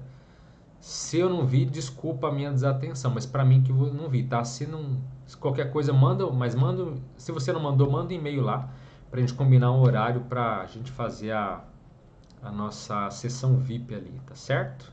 Aproveitando que você já escreveu. Se eu não vi, me desculpe. E se você já escreveu, deixa para lá que depois eu, eu fuço e acho ali, né? Eu dou uma pesquisada e acho, tá bem? Boa noite, Indira. Boa noite, Marilene, que também é membro, lá de Niterói. Eduardo, de Rio de Janeiro, Bom Jardim, boa noite também. Um abraço aí a Marilene e o Eduardo aí, os, os cariocas que estão por aqui, pelo menos por enquanto. Irene, boa noite de São Paulo, capital. Paula Tavares, olá, Paula lá de Brasília, Distrito Federal, boa noite, Paula. Brasília tem que trabalhar muita energia aí, hein, Paulo? Porque para ser engolido de energia aí não é, não é, não demora, viu? Aí as coisas são às vezes meio complicadinhas, vamos colocar de uma forma assim mais infantil, né? É... Paula, perdi a última live, professor. O YouTube não me notificou. Tava com muita saudade do senhor. Muito obrigado, Paula. Estamos aqui novamente. A Lourdes de Lisboa, seja muito bem. Boa noite, Lourdes. Cris, também de Recife, boa noite. Cris. Helena, de São Paulo, capital, que é membro também. Seja muito bem-vinda, Helena. Darlene, Eduardo. O Eduardo coloca. Certa vez perguntei pela macro pecado destrutiva porque tinha um menino que onde ele ia caía pedras nos telhados das casas. Quando cresceu foi trabalhar numa pedreira e morreu com uma rocha que caiu sobre ele. Nossa, Paulo Eduardo, seria cômico se não fosse trágico. Sim, macro PK, para quem nunca ouviu esse termo, é o seguinte: existem certos fenômenos, ou existe certo fenômeno, onde a consciência ela instintivamente, inconscientemente, pelas suas energias, ela pode patrocinar certos acidentes na vida dela, em função dela ter muita energia e também, em geral, dela ser mais despreparada, mais imatura, às vezes mais desequilibrada emocionalmente, tá? Então, certas pessoas acontecem coisas como o próprio Eduardo falou. Então, o que é macro PK destrutiva? São pessoas que morreram por causa de energia, da própria energia dela. Então, a pessoa, você falou, sempre está caindo pedra na cabeça dela. Não sabe por quê? Foi trabalhar numa pedreira, cai uma pedra gigante, morre. Isso é macro PK. Tem pessoas, por exemplo, que do nada é, entra, parece que uma coisa entra na frente do caminho dela durante uma estrada, por exemplo, ela sofre um acidente ou de moto, ou de carro, mas não é uma coisa do acaso. Algum objeto parece que é realmente puxado, alguma energia invisível que puxa, ela tem algum acidente. Enfim, casos de macro PK existem vários, tá? Vários. De coisas que não era para acontecer e sempre está acontecendo um acidente com aquela pessoa. Até que, que ela é destrutiva? chega um ponto que esse acidente ele chega se torna fatal. É um acidente de que ela acaba realmente falecendo, que ela acaba realmente morrendo ali por causa disso, tá? Então, macro PK existe. Agora, o caso que você falou daria até uma boa história, porque né, a pessoa que sempre cair pedra nos telhados e aí depois acontecer isso, realmente. Agora, macro PK é um assunto bem sério. É, Maria Mena, boa noite. A Rosilene, que também é membro aqui do canal, coloca boa noite. Boa noite, Rosilene. Maria Aparecida, boa noite. Vamos ver se tem mais perguntas. Paula. Professor, que relato incrível. Tudo que eu precisava ouvir hoje foi falado nesse relato. Sempre me perguntei, será que estou no caminho certo? Pois é. Inclusive, Paulo, eu vi um vídeo que eu achei muito interessante esses dias que é uma nova abordagem daquilo que a gente já fala, mas que vale muito a pena frisar que é o seguinte: muitas vezes a gente só dá foco naquilo que é dificuldade e o nossa, o nosso cérebro de primata, nosso cérebro de mamífero, muitas vezes tem esse comportamento. Então, se eu penso, aquela velha, aquela velha exemplo, se eu falar para vocês, não pensem em elefante agora, todo mundo vai pensar em elefante. O cérebro tem isso, nossa, nem sempre fora do corpo é assim, mas fisicamente a gente funciona dessa forma. Então, quando você é, fica pensando, será que eu estou no caminho certo? Ou, ó, estou tendo tanto problema. E você só põe atenção no problema, problema, problema. Você está sempre focando o quê? Colocando energia no problema. E a gente sempre fala que é importante frisar o lado positivo, ter gratidão, olhar o que você precisa fazer. E o que você falou me lembrou, Paulo, pelo seguinte, porque uma coisa que eu vi nesse vídeo que eu achei bem interessante é que você colocou que, por exemplo, o pessoal que desce de esqui, sabe, na montanha, eles têm essa visão. Por quê? Se eles forem descendo naquelas competições que tem de esqui, sabe? Não sei se já viram aquelas competições que o pessoal vai esquiando no meio das árvores para ver quem que desce mais rápido. Se a pessoa no esqui ela ficar pensando é, não bate na árvore, não bate na árvore, não bata na árvore. Se ela sempre ficar pensando nisso, o que você acha que vai acontecer? Ela vai trompar numa árvore com tudo. Porque ela está focando o quê? No obstáculo, que é a árvore. Agora, se ela ficar descendo aquele caminho pensando, olha o caminho, olha o caminho, olha o caminho, para onde que eu vou, para onde que eu vou, aí a tendência é que aconteçam menos acidentes ou que quase não aconteçam. Então, essa questão que a Paula coloca, né? Será que eu estou no caminho certo? Aí, o importante é, o que, que eu tenho que fazer? Quais minhas metas, meus objetivos, meus projetos? Fica olhando, fica focando naquilo que você tem que fazer, naquilo que é o prioritário da tua vida. Agora, se a gente fica, claro, todo mundo tem problema, ninguém, não é por isso que a sua vida vai se tornar uma vida mágica, que os problemas ou que as dívidas vão se solucionar magicamente, sabe, instantâneo. Não é isso. Mas se você só ficar pensando, ah, boleto, conta, problema com fulano, aí se só ficar pensando nos problemas, a tendência é que o caminho, que os seus objetivos, que as suas metas fiquem para trás, fiquem distantes e que você acabe trompando nessas árvores que são os problemas que nós temos, que todo mundo tem. Se você tem menos problemas na sua vida, parabéns. Utilize seu tempo, sua energia, sua disponibilidade, se puder, para ajudar os outros, melhor ainda. Mas esse é um detalhe sutil, mas que faz toda a diferença. Vamos focar no nosso caminho, nos projetos, nas metas, do que, que você quer conquistar. E não estou falando de grana, estou falando de realizações, tá? Porque é isso que nas EQMs é valorizado, as nossas realizações, aquilo que a gente se propôs a fazer e a gente chegou lá.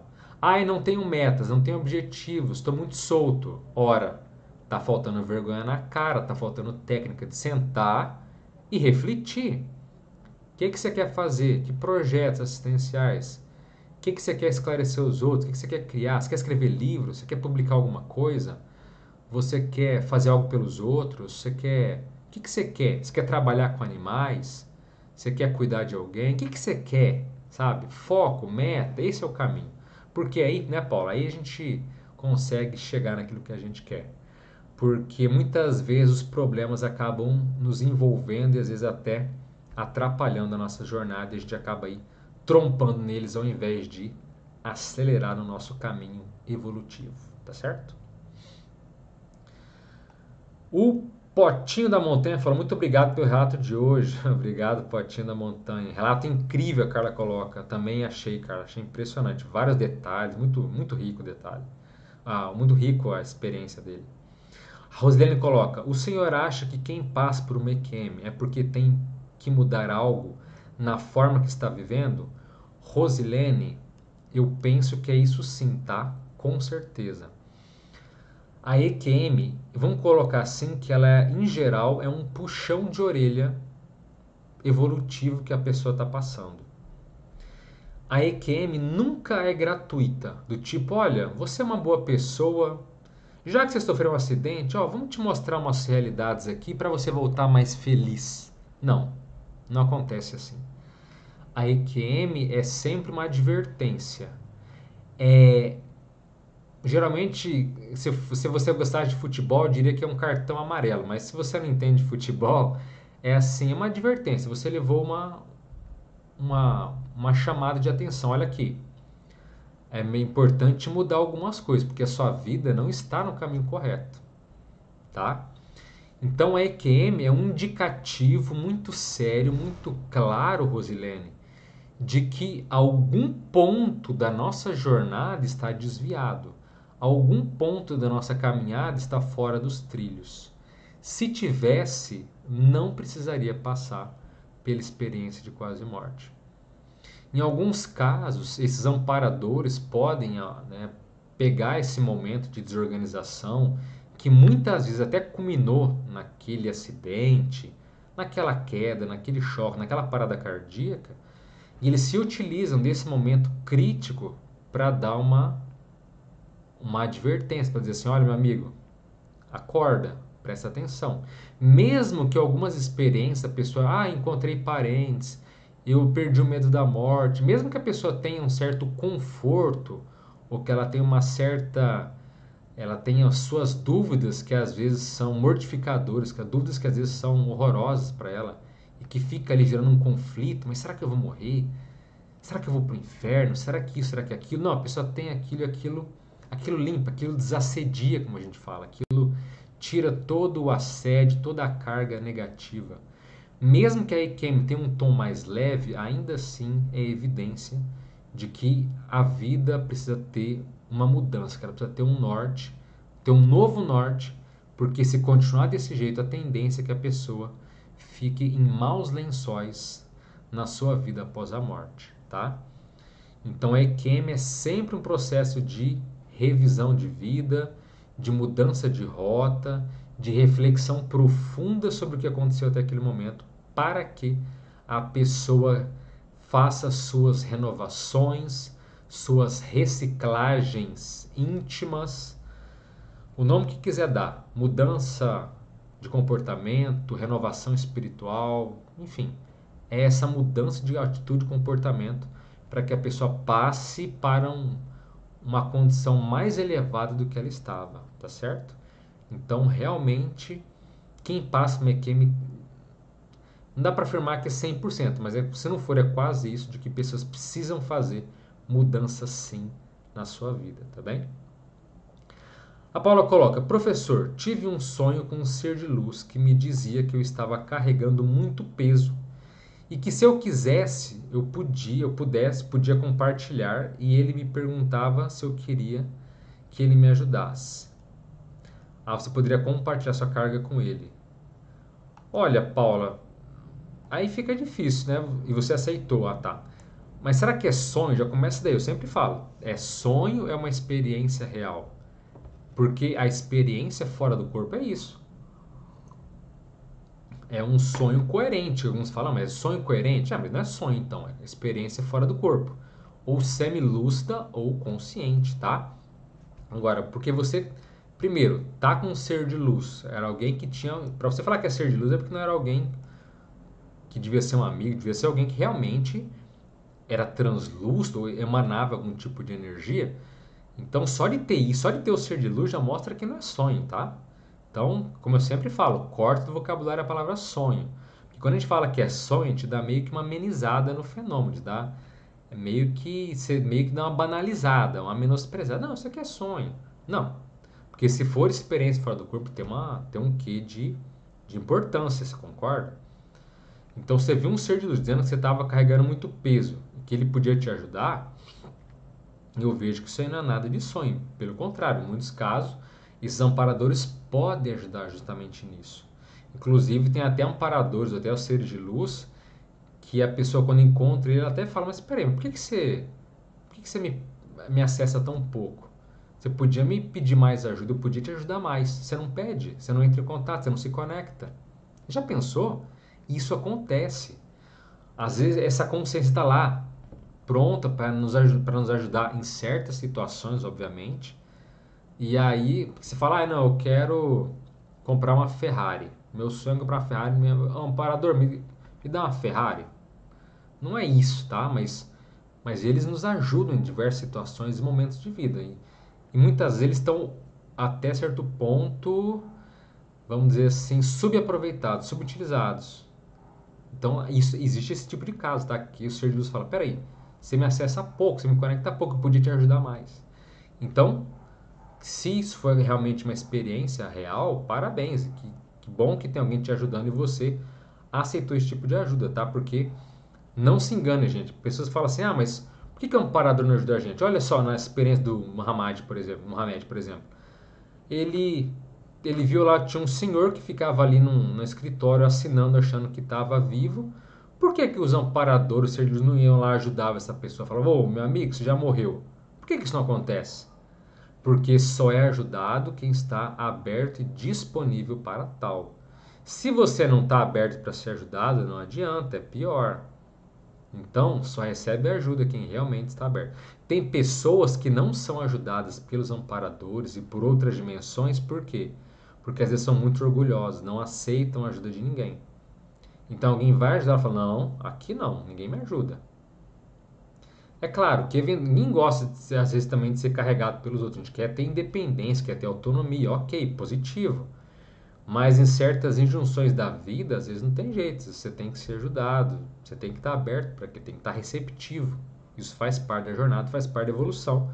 E não quer dizer que nós somos inaptos, somos incapazes ou não temos é, não temos mérito, mas muito pelo contrário, às vezes é justamente a nossa histórico de vida que nos dá esse respaldo para ser ajudado. Então, se isso foi um evento real, Paula, parabéns, que bom que isso aconteceu contigo, espero que essa ajuda seja cada vez maior, tá certo? O Nod Geraldo, boa noite, boa noite Geraldo.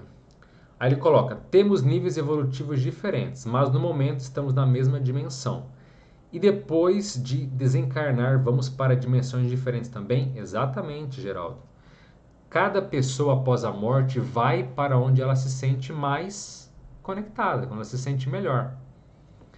Então, por exemplo, digamos que uma, vou dar um exemplo assim um pouco um pouco vai parecer aleatório, mas você vai entender o meu ponto, tá?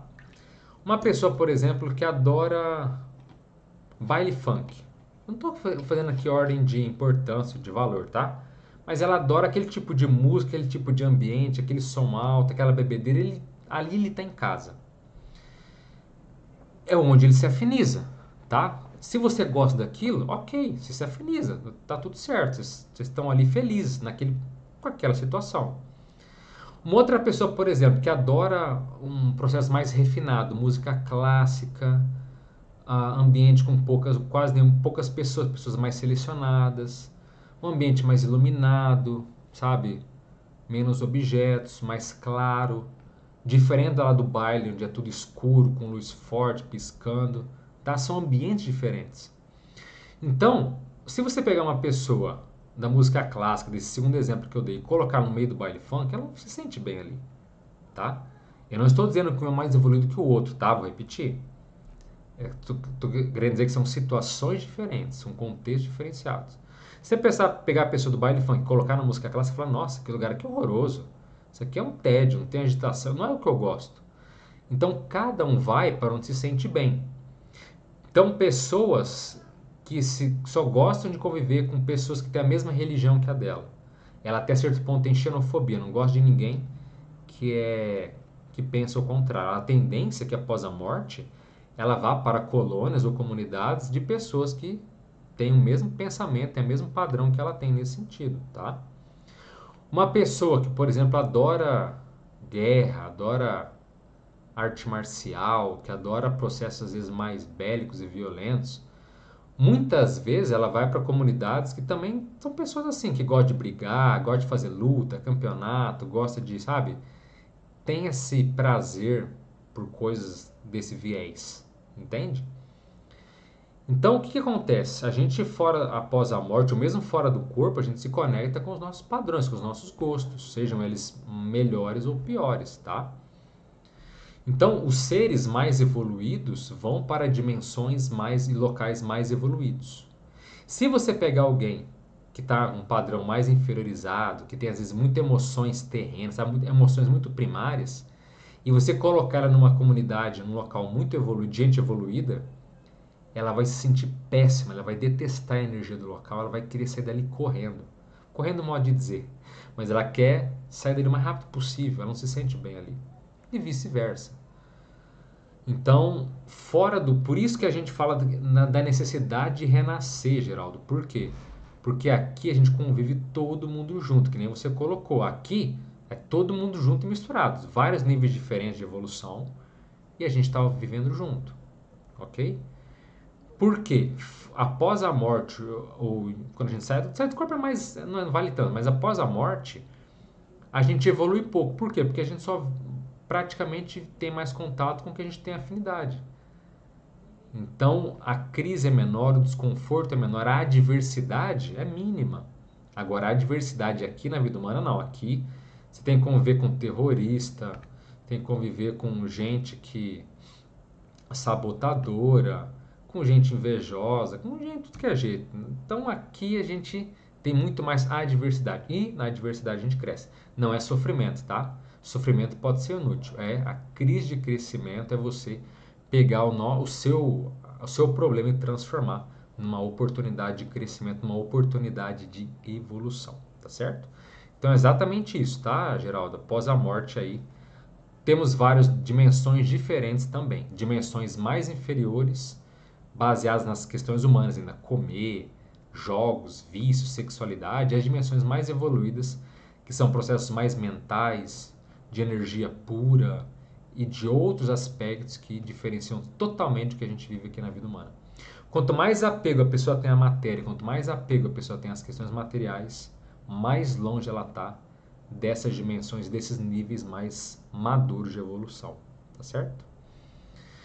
Simone coloca, boa noite atrasada, de São Paulo chuvosa. Ah, desbarrancando a marginal. Pois é, eu vi uma cena aí. Não sei se é de hoje, mas lamentável. Então, boas energias pro pessoal, pros paulistas aí. Boa noite, Simone. Jairo, boa noite. Indira pedindo like, volta a dizer, quem não deu like, por favor, contribui demais o seu like. E se já passou a live, se estiver vendo esse vídeo depois, também, quanto mais likes, tá? Isso ajuda demais na divulgação. Fabrício Silva coloca, DMT, entre outras substâncias. É, acho que até foi o Fabrício perguntou na última live, não foi? É, que são delírios. Então, vou responder de novo. Ou, acho que foi para o Fabrício, não tenho certeza agora. DMT e outras substâncias, elas é, não influem nessas experiências fora do corpo, tá? Elas não são a causa disso. Por quê? Porque na experiência fora do corpo nós estamos fora do corpo. O seu corpo pode estar em coma, seu corpo pode estar totalmente paralisado, travado. Seu cérebro a zero, seu coração parado, seus órgãos é, no mínimo possível, suas glândulas no pior estado que elas podem, que elas podem estar.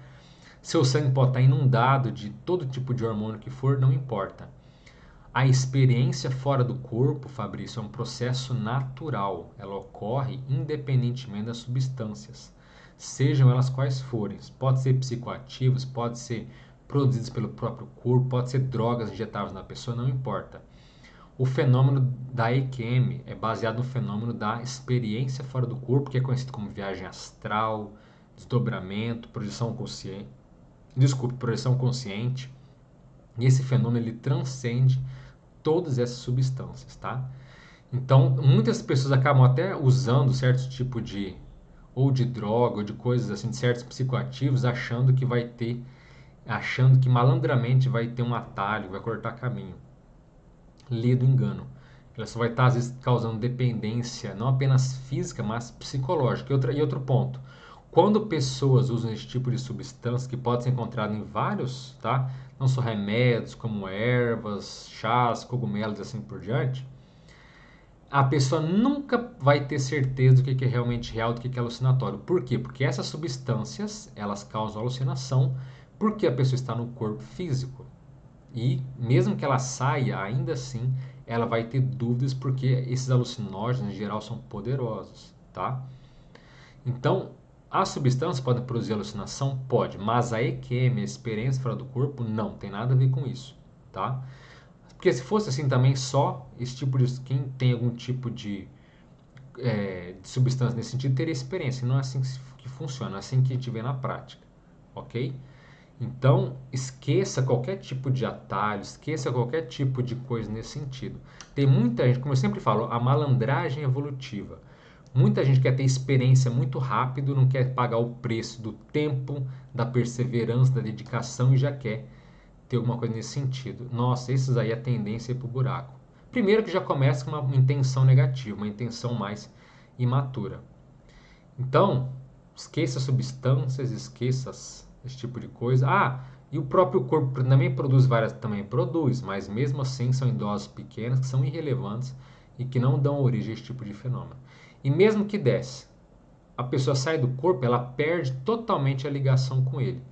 Então, se, por exemplo, se você está tendo uma dor de cabeça horrorosa, você sai do corpo, a dor de cabeça some, entendeu? Você perdeu a conexão com o seu corpo físico. Você não sai do corpo quando está sentindo dor de cabeça. Ah, tive um ataque cardíaco. Você sai do corpo, você não sente mais teu coração, você nem respira mais. É outra natureza, é outra história, tá? Então, ela não, nada disso tem relação porque ao sair do corpo a gente é, vivencia uma realidade muito diferenciada que transcende qualquer sensação, qualquer questão corporal. Tá bem, Fabrício? Zilda, mais uma membro aqui do canal, coloca Boa noite, professor Alexandre Belos Animais, Zilda lá de BH, seja bem-vinda, Zilda. Boa noite, mais uma paulista aqui, Adriana da Conceição. Jairo coloca, professor, na minha última projeção astral estava na rua da minha casa e tentei voar, mas consegui. Tentei também ir a um determinado lugar apenas pensando, mas não consegui. Peraí, deixa eu entender. Eu acho que você quis dizer que, né, Jaro, que você tentou voar, mas não conseguiu, é isso? Tentou voar, mas não conseguiu. Também tentou ir em um determinado local apenas pensando, mas não conseguiu. Somos limitados no astral? Não, Jairo. Isso depende muito da condição. Inclusive, tem tudo a ver com o relato de hoje, que você viu que ali no, no relato lá, o Mohamed, ele só pensava, pensou na mãe, ele foi até ela.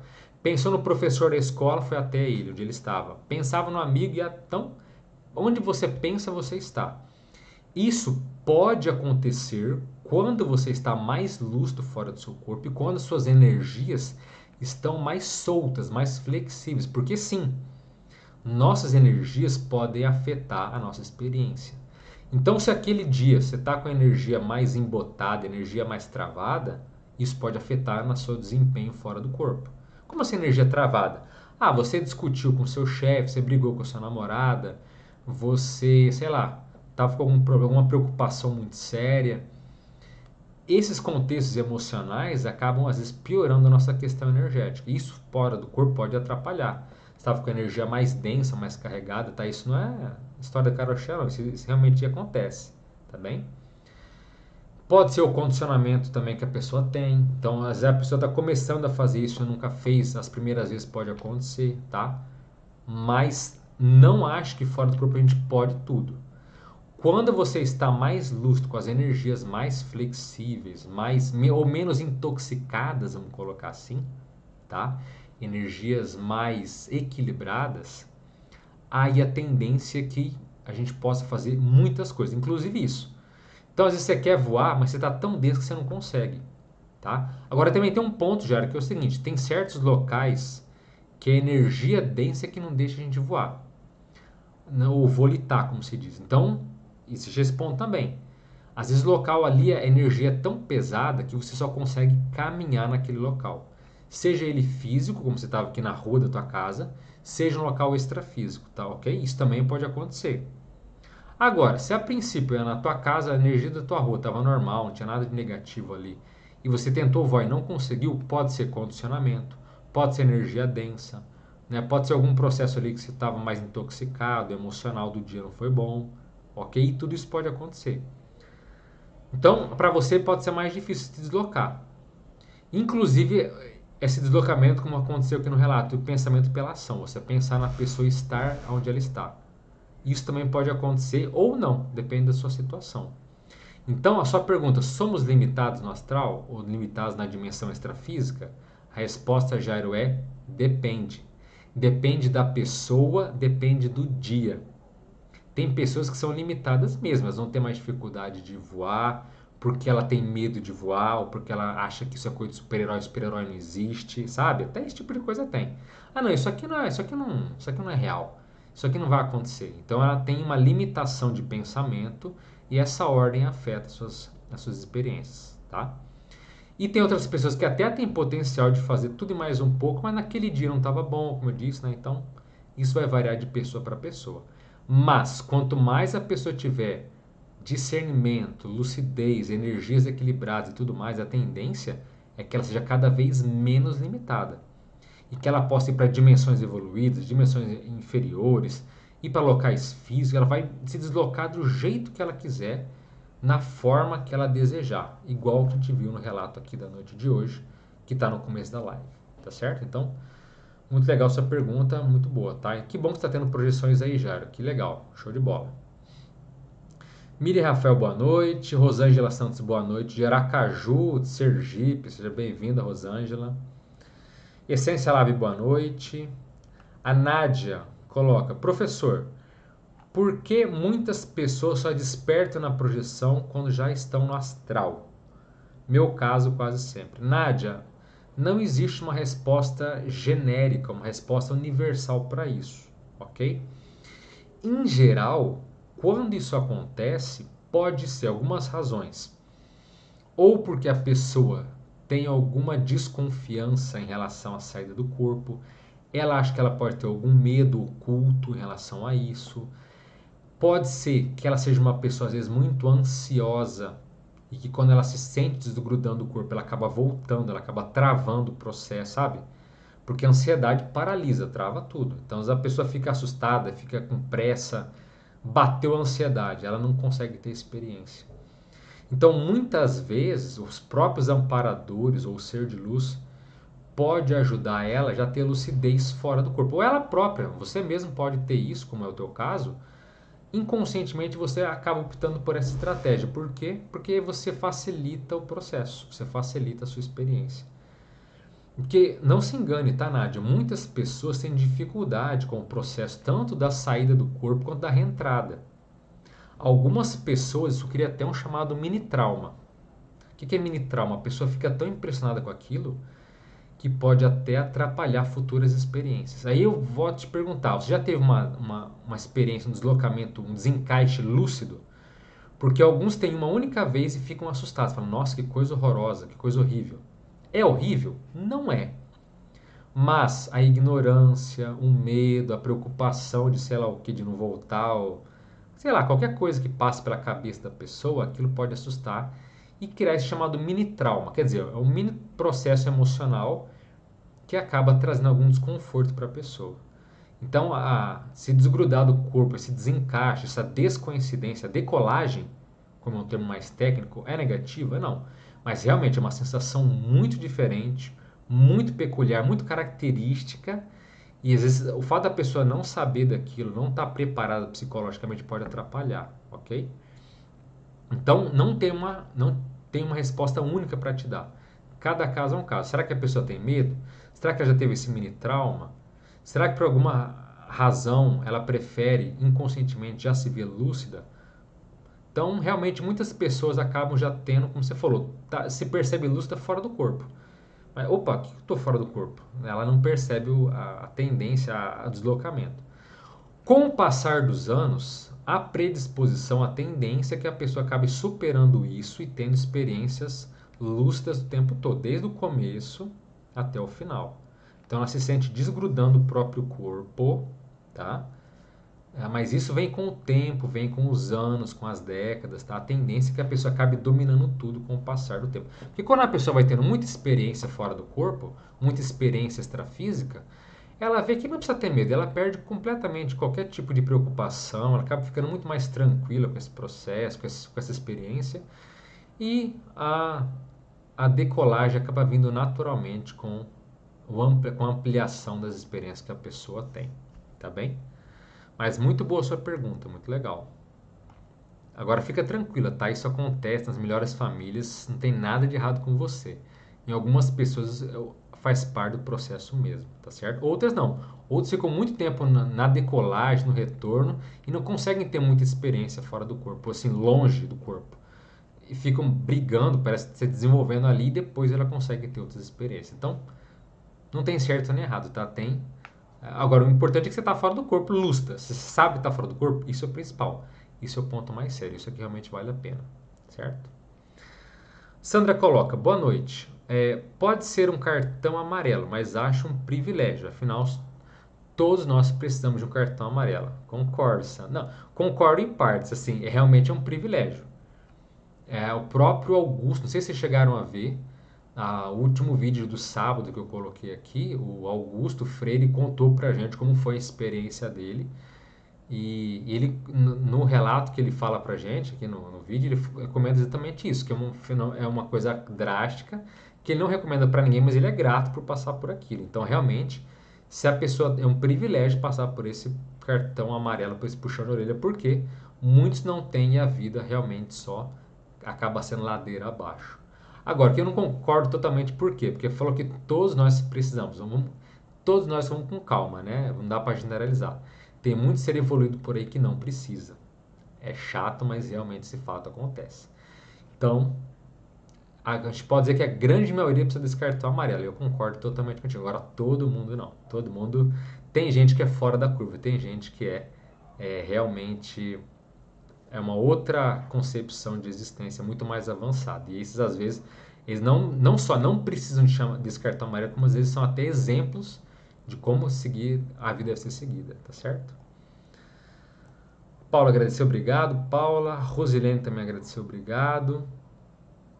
Josi, relato sensacional, realmente, Josi, muito bom. A Josi da Boa Noite aí de São Vicente, São Paulo, mais uma paulista aí com a gente. Geraldo coloca: Obrigado, professor, pela resposta. Não perco um vídeo nem live. Dou like mesmo de assistir sabendo de que tão sabendo que tão bons são os vídeos e lives. Muito obrigado, Geraldo, aí, pela presença, pela participação. Muito obrigado pelo apoio. Porque, gente, vocês não fazem ideia. Ah, só um like não conta. Não, conta sim.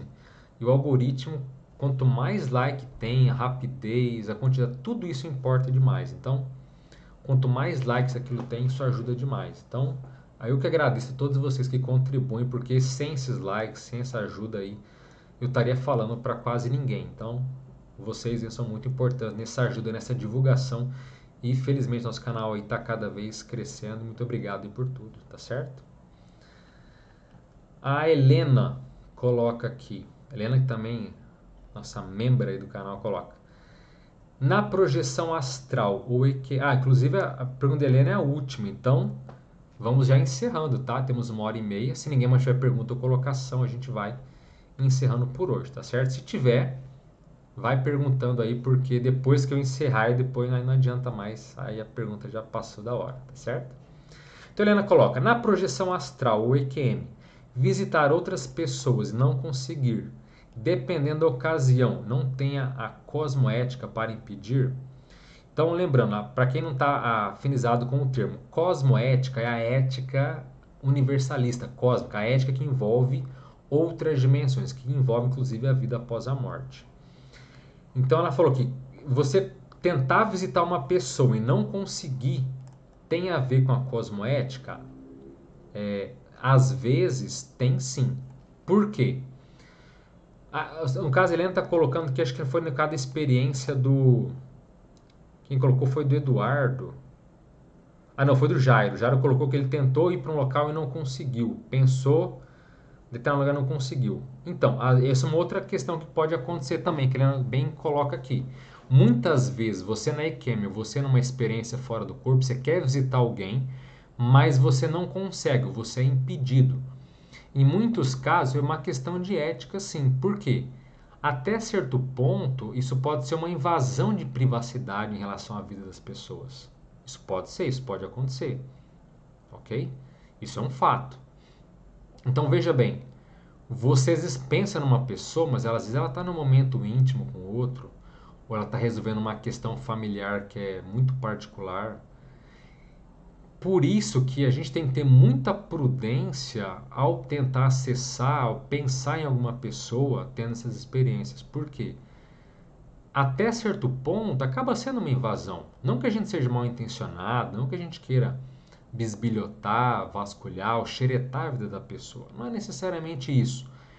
Mas a gente precisa ter um certo bom tom, certo? uma certa prudência, certo? Quando a gente tentar visitar certas pessoas. Porque a gente pode infligir, como a Helena coloca, essa cosmoética, ou seja, essa ética cósmica, ou essa ética interdimensional, multidimensional, o nome que você preferir.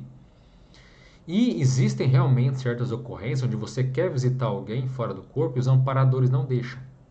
Por quê? Por diversas razões, que é melhor você não ir naquele momento, é uma questão particular, é um momento íntimo, enfim. Há uma coisa ali que você não é de bom tom, não é o momento ideal para você acessar aquele ser. Então a gente muitas vezes é impedido. Muitas pessoas, por exemplo, a, o, o, às vezes faleceu um parente, a pessoa morre de saudade, quer rever e tal. Desculpa, às vezes a pessoa sai do corpo e quer até aquela pessoa, quer ver como ela está. E muitas vezes ela é impedida, ela não é deixada, ela vê. Em alguns casos pode ser também, inclusive, em relação à própria cosmoética. Por diversas razões que às vezes a gente não entende, ou eles não passam para a gente a informação, mas que, ó, acessar agora não dá. E você não acessa. E você não consegue. Tudo isso acontece. Agora, existe eu querer acessar uma pessoa indevidamente e conseguir? Claro que também acontece. Isso também existe. Ah, eu quero ver a minha, sei lá, a minha a minha amiga do trabalho, a minha vizinha tomando banho no chuveiro. Eu posso? Teoricamente você pode sair do corpo, você consegue lá. Consegue matar seu, seu desejo ali carente. Pode ser. Mas é devido? Não. É cosmoético? Tão pouco, de modo algum. Então a gente tem que ter muito bom senso em visitar alguém ou não. Se for impedido, abre o olho. Muitas vezes é porque aquilo não é para realmente acontecer, ok? O melhor é você não entrar em contato. Então essas questões muito bem colocadas pela Helena, é uma pergunta muito boa.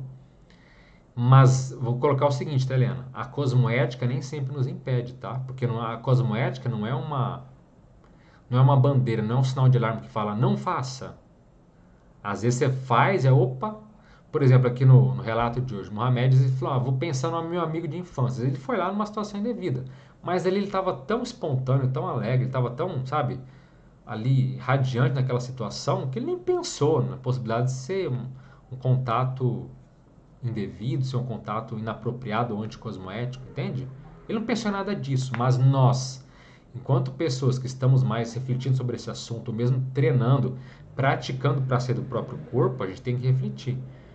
É, tem que ter muita atenção, muito cuidado com quem a gente quer encontrar, o porquê que a gente quer encontrar, sabe?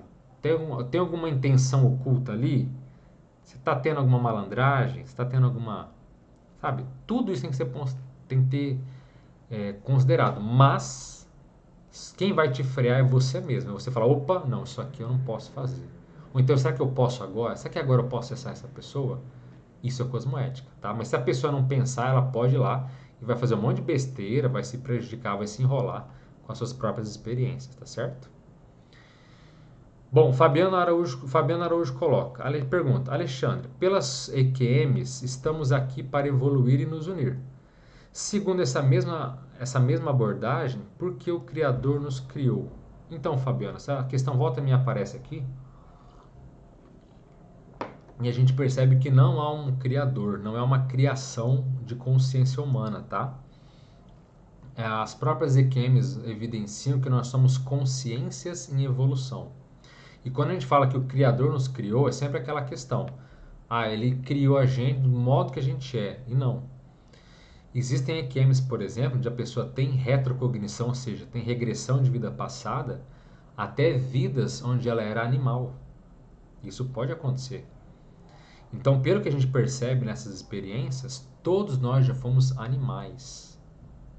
Então, não houve uma criação que fomos criados humanos e essa vida é única. Besteira.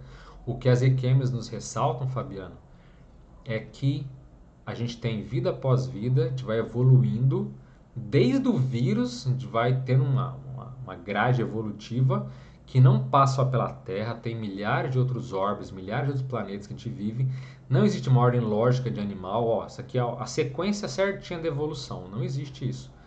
Tem pessoas que vão ser uns animais, outras não, mas há uma sequência até a gente chegar nesse ponto onde a gente tem autoconsciência de que existimos. Por isso que a gente percebe que a gente está aqui para evoluir. Só que essa evolução, meu cara, é muito mais antiga, é muito mais para trás do que a maioria das pessoas imagina.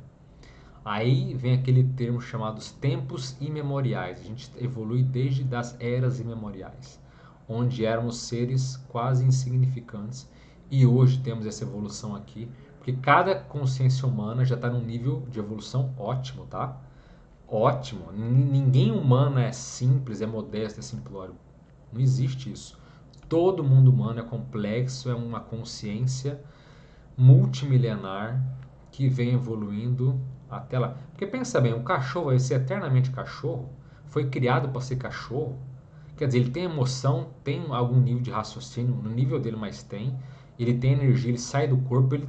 mas vai ser a vida, sabe, eternamente um animal naquele nível. Não, ele vai evoluir até um, algum momento ele vai ser um estágio humano. Humano que eu digo, como a gente está aqui, né, raciocinando, tendo lucidez, tendo autoconsciência, sendo, tendo teoricamente mais racional do que emocional, tá? Teoricamente, ok? Então a gente está aqui para evoluir, inclusive animais estão aqui para evoluir, inclusive vírus estão para evoluir, bactérias, inclusive moscas, todos os animais estão aqui para evoluir. Inclusive seres mais evoluídos que a gente, tá? Também estão evoluindo e a gente não é o topo da cadeia, não, ok? Tem gente muito, ser muito mais evoluído que a gente que também está evoluindo e assim segue o baile, segue o bonde, segue a evolução, segue o caminho evolutivo, tá bem? Ah, obrigado, Indira, pelo elogio. Fabiano coloca, obrigado pela resposta sobre as substâncias. Minha dúvida é devido a vários relatos de experiências profundas com ayahuasca aparição de ser ah, mas a ayahuasca, Fabio, isso é droga. É, esquece a ayahuasca. A ayahuasca, ela sempre vai criar dependência emocional, dependência física. A pessoa acha que ela só vai ter fenômeno com a ayahuasca. Outra coisa, a ayahuasca tem muita mistureba. Já tive amigos que usaram ayahuasca e tiveram experiências horrorosas. A ayahuasca mistura a alucinação com fatos que podem até ser reais, mas diferenciar um do outro é um problemão. A pessoa vai morrer com essa dúvida às vezes, sabe? Então, ayahuasca, eu sei que você está falando da ayahuasca, DMT é da ayahuasca, mas assim, é, tem pessoas que falam que tem experiência fora do corpo com ayahuasca? Tem, mas às vezes você vê que tem certos padrões que não combina com uma experiência fora do corpo. Parece que mistura com fantasia, com alucinação. Então, meu caro Fabrício, você faz da sua vida o que você quiser, o livre-arbítrio é teu. Se eu puder te dar um recado, é o seguinte: caia fora de qualquer tipo de droga, qualquer tipo de substância. Parece atalho, parece que vai ser mais rápido, mas já conheci muita gente que caiu por terra por causa disso, tá? É um problemão. Droga é uma droga mesmo, caia fora e seja mais longe que você puder. Qual é o caminho mais maduro que os seres evoluídos trilham e que eles dão exemplo? É para usar, ó, nenhum ser evoluído falou, ó, vai, usa ayahuasca. Não. Use tal droga. Não. Qual que é o caminho mais seguro? da dedicação, do trabalho, da técnica, do esforço, do mérito. Leva mais tempo? Leva. Dá mais trabalho? Com certeza. Mas os seres mais evoluídos não, não nos dizem para a gente ficar usando nenhum tipo de substância nesse sentido. Até porque eles patrocinam, fazem tudo isso em relação a eles mesmos, sem substância nenhuma, tá certo? Então, Fabrício, escolha a tua, mas. Inclusive para os membros aqui, tem um vídeo que eu falo só sobre a ayahuasca, tá? Mas já dou um spoiler aqui, eu não, esse vídeo não é para apoiar, ok? Então droga, se possível, caia fora, porque muitas vezes depois se arrependem amargamente desse processo. E não vem com essa de que, ah, mas substância aqui pode dar evento real. Pois é, até com cocaína com, pode sair do corpo, mas é, sai, é difícil. Cerveja pode sair do corpo? Pode. É raro? É raro, mas droga é droga, tá? Sem autocorrupção, sem autoengano, sem terra da fantasia, ok? Mas livre-arbítrio é teu. Não, o livre-arbítrio é totalmente teu. Nádia coloca: se vamos para lugares por afinidades depois do desencarne, onde fica o despertar? Que despertar, Nádia? Quem diz que todo mundo tem despertar? Isso depende muito de consciência para consciência, tá, minha querida? Porque, assim, às vezes tem pessoas que passam séculos, milênios sem despertar. Entende? Até se colocou, por que muitos evangélicos acreditam no sono eterno? Pois é, tudo isso é invencionista, é, é distorção da realidade. Então, esse despertar é, é um termo que é bonito, mas que no fringir dos ovos, a pessoa que passa por algum despertar da consciência, um despertar para realidades maiores, para a fraternidade, para a ética, para tudo isso, isso só começa a acontecer em certo estágio da evolução.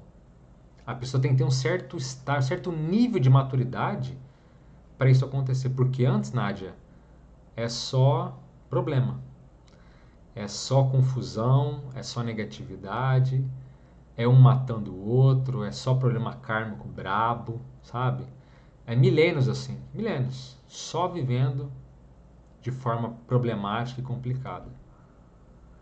Até que chega um ponto de saturação, um ponto de a própria pessoa parece que intimamente está cheia de tanta guerra, de tanta loucura, de tanta crise, de tanta dor, que a própria pessoa começa a querer focar, como eu estava falando aqui antes, menos na árvore, mais no caminho. Ela quer focar mais em soluções.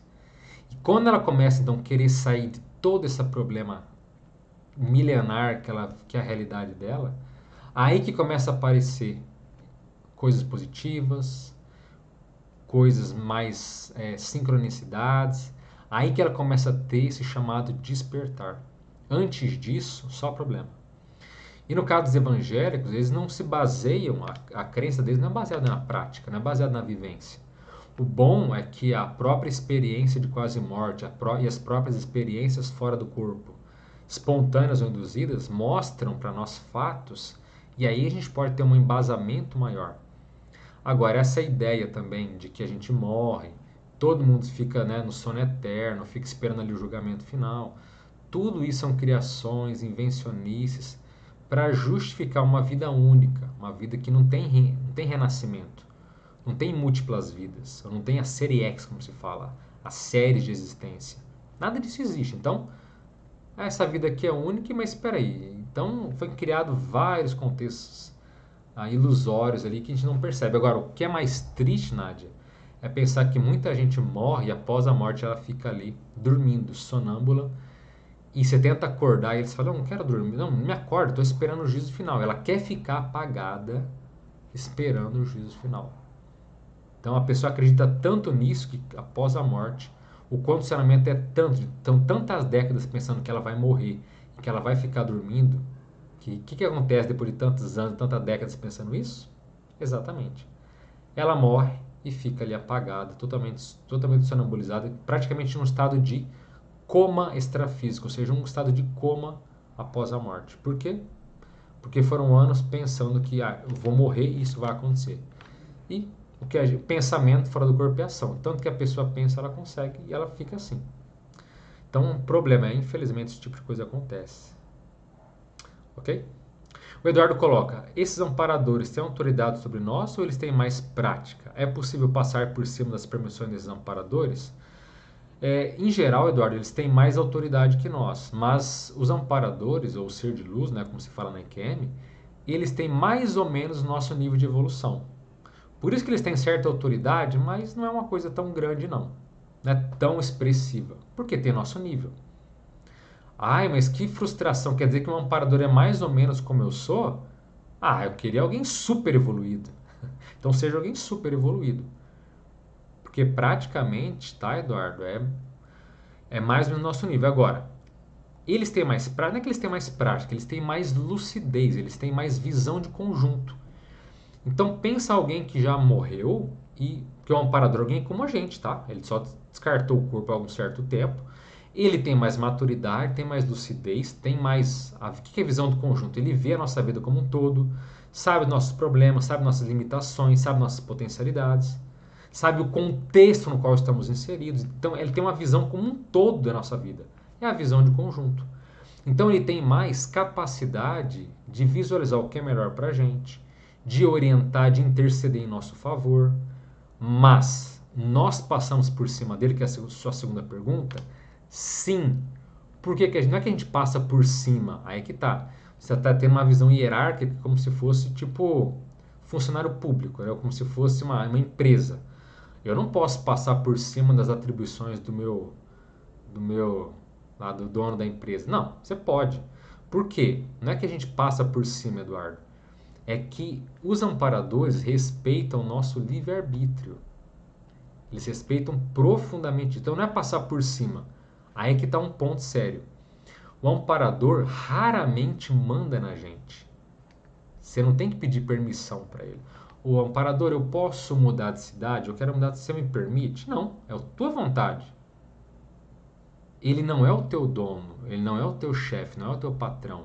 Então ele não manda em você. Como eu falei, veja bem, Eduardo, ele tem mais visão de conjunto em relação à sua vida, certo? Então muitas vezes o amparador dá certa dica assim: olha, seria importante agora você fazer tal coisa, porque ele vê que aquilo seria um ato interessante, que vai contribuir para a tua evolução. Então ele dá uma dica: ó, seria importante você fazer isso. Mas ele não fala, ó, faça isso. Ele não, é, não tem essa, esse domínio sobre você. Ele diz, olha, pensa sobre isso, pode ser importante agora. Se você faz ou não, é o teu livre-arbítrio. Se você não faz, ele não fica de mal. Ele não vai falar, não vou ajudar mais esse cara. Tudo que eu falo ele não faz. Não. Ele continua intercedendo.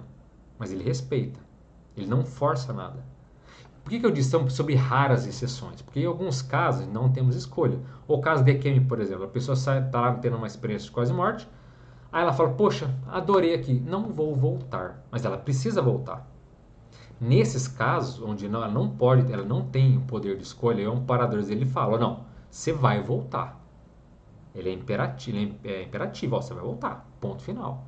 Mas isso são situações e exceções, é uma raridade. Durante a nossa vida, Eduardo, eles não mandam a gente não, tá? Eles dão palpites, insights, indicações, passam mensagens. O que a gente faz é escolha nossa. Porque se não fosse assim, a gente poderia morrer e falar, pô, eu não evolui, minha vida foi um fracasso por todos os amparadores que me mandaram fazer tal coisa, que não me deixaram tal coisa. Não. Responsabilidade, meu caro, não é deles, é nossa. E eles sabem muito bem disso. Por isso que não existe passar por cima de amparador. Você faz o que você quiser. É a tua capacidade, tua maturidade de escolha. Os amparadores só intercedem, entende? Então, eles têm mais visão de conjunto, estão mais lustros que a gente e eles não mandam, tá? Eles dão indicações, mas o processo todo é nosso. Nós temos a decisão final sobre qualquer coisa na nossa vida, seja ela positiva ou negativa, certo?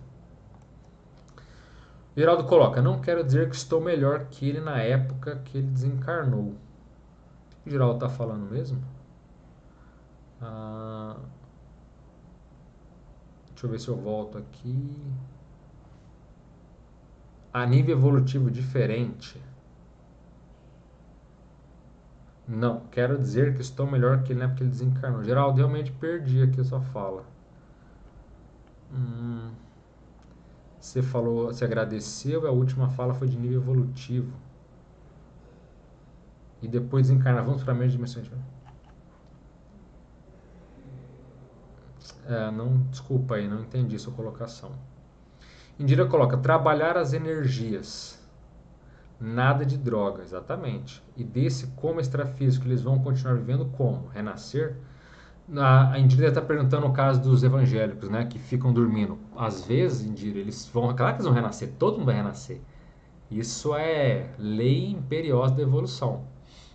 Agora, eles vão perder muito tempo, né? Vão ficar um período, às vezes, de tempo terrivelmente perdido. Mas aí é que entra a intercessão dos amparadores. Muitas vezes vão per perguntar: Fulano, você quer acordar para renascer? Nessa condição, tem como um amparador fazer isso? Não tem. O que, que eles fazem?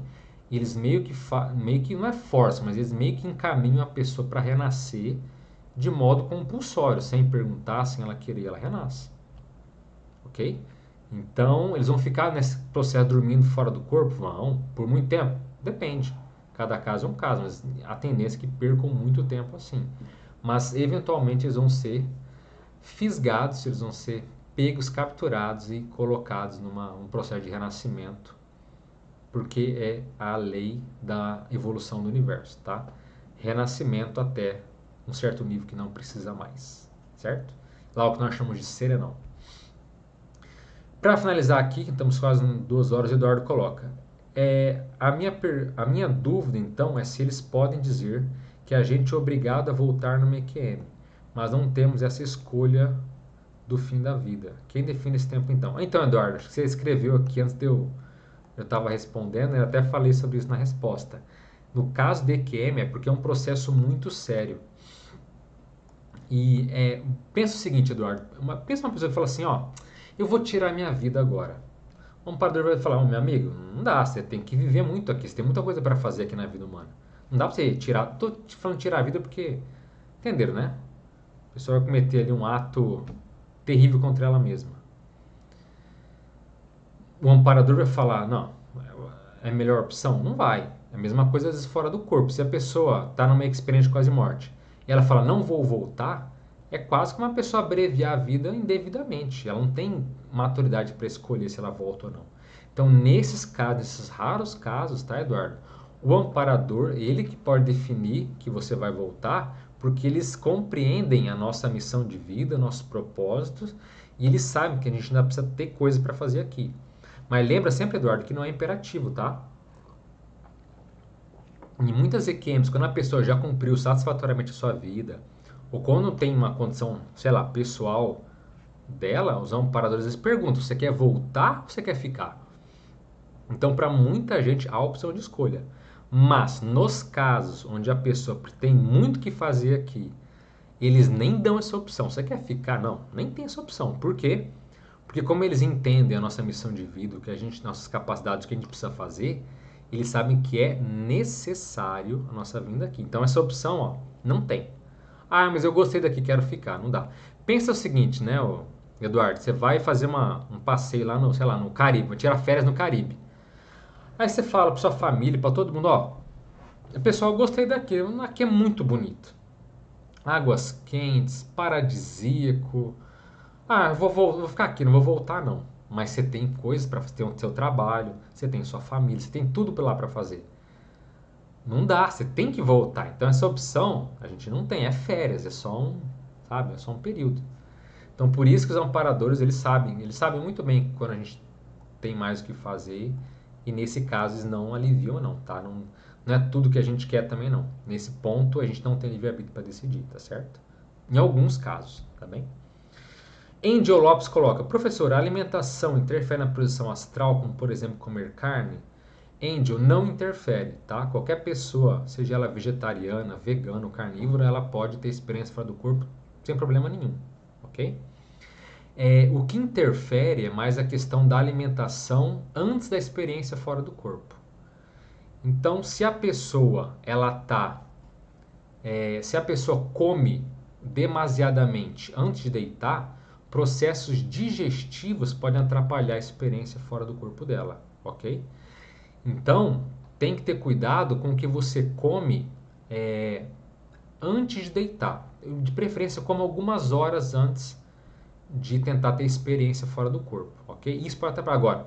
Vou dar um detalhe que muitas pessoas não gostam de ouvir, fica até meio chato.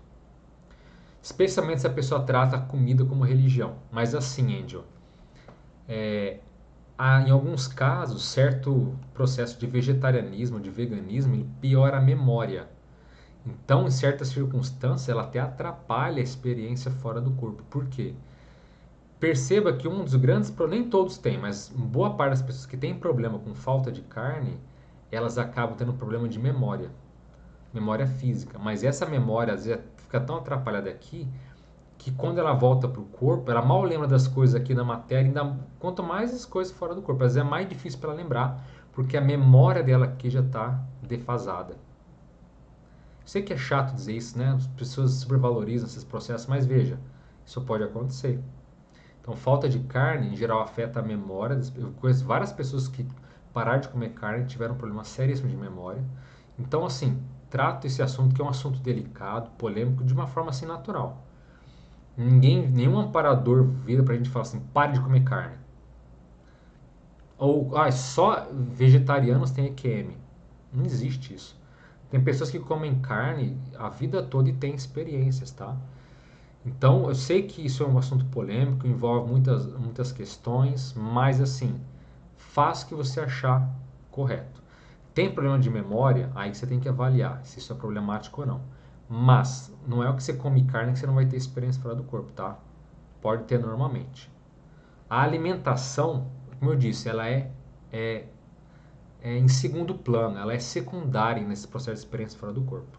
Ela não interfere quase nada. Mas volto a dizer, o que interfere é você se alimentar antes de deitar.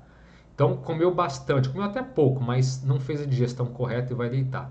Aí sim, por esses processos de digestão gastrointestinais interferem de forma mais ostensiva para dificultar você ter lucidez, para ter uma experiência real.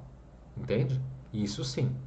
Agora, ter ou não ter carne, isso é irrelevante, tá? Isso aí para projeção não interfere em nada não, ok? Bom, Geraldo coloca, ah, um amigo desencarnou há uns anos atrás e é possível não encontrá-lo por estarmos em vibrações diferentes?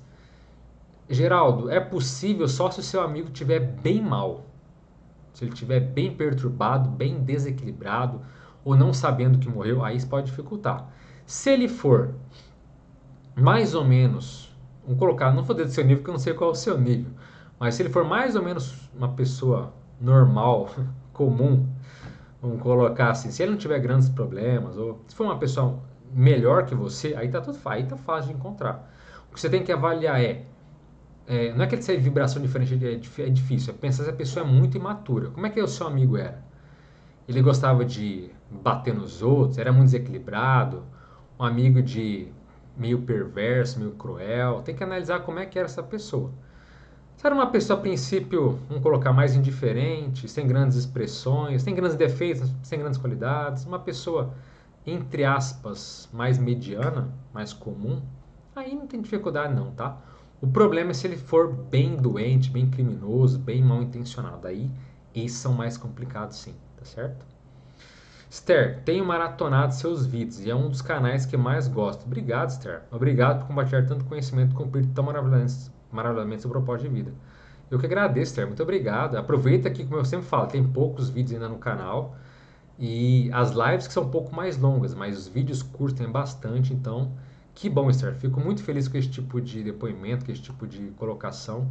Isso dá até mais ânimo e motivação para continuar fazendo aí o trabalho, tá certo? Eu que agradeço a presença de vocês e a audiência de vocês, tá certo? Obrigado. Nádia coloca. Ah, ela colocou para Indira. Então, assim, gente, estamos encerrando aqui. Passamos de duas horas, em geral, ficamos aí mais ou menos esse período. Então, é, eu agradeço fortemente a presença de todos. Eu espero que essas perguntas aí, essas respostas possam ter trazido, como eu sempre falo, mais dúvidas do que não, provavelmente certeza, porque a gente cresce é justamente na no questionar, na reflexão e assim por diante. Se você gosta desses assuntos, curta o vídeo, ajude na divulgação, se inscreva no canal para receber atualizações, para dar uma maratonada e ver.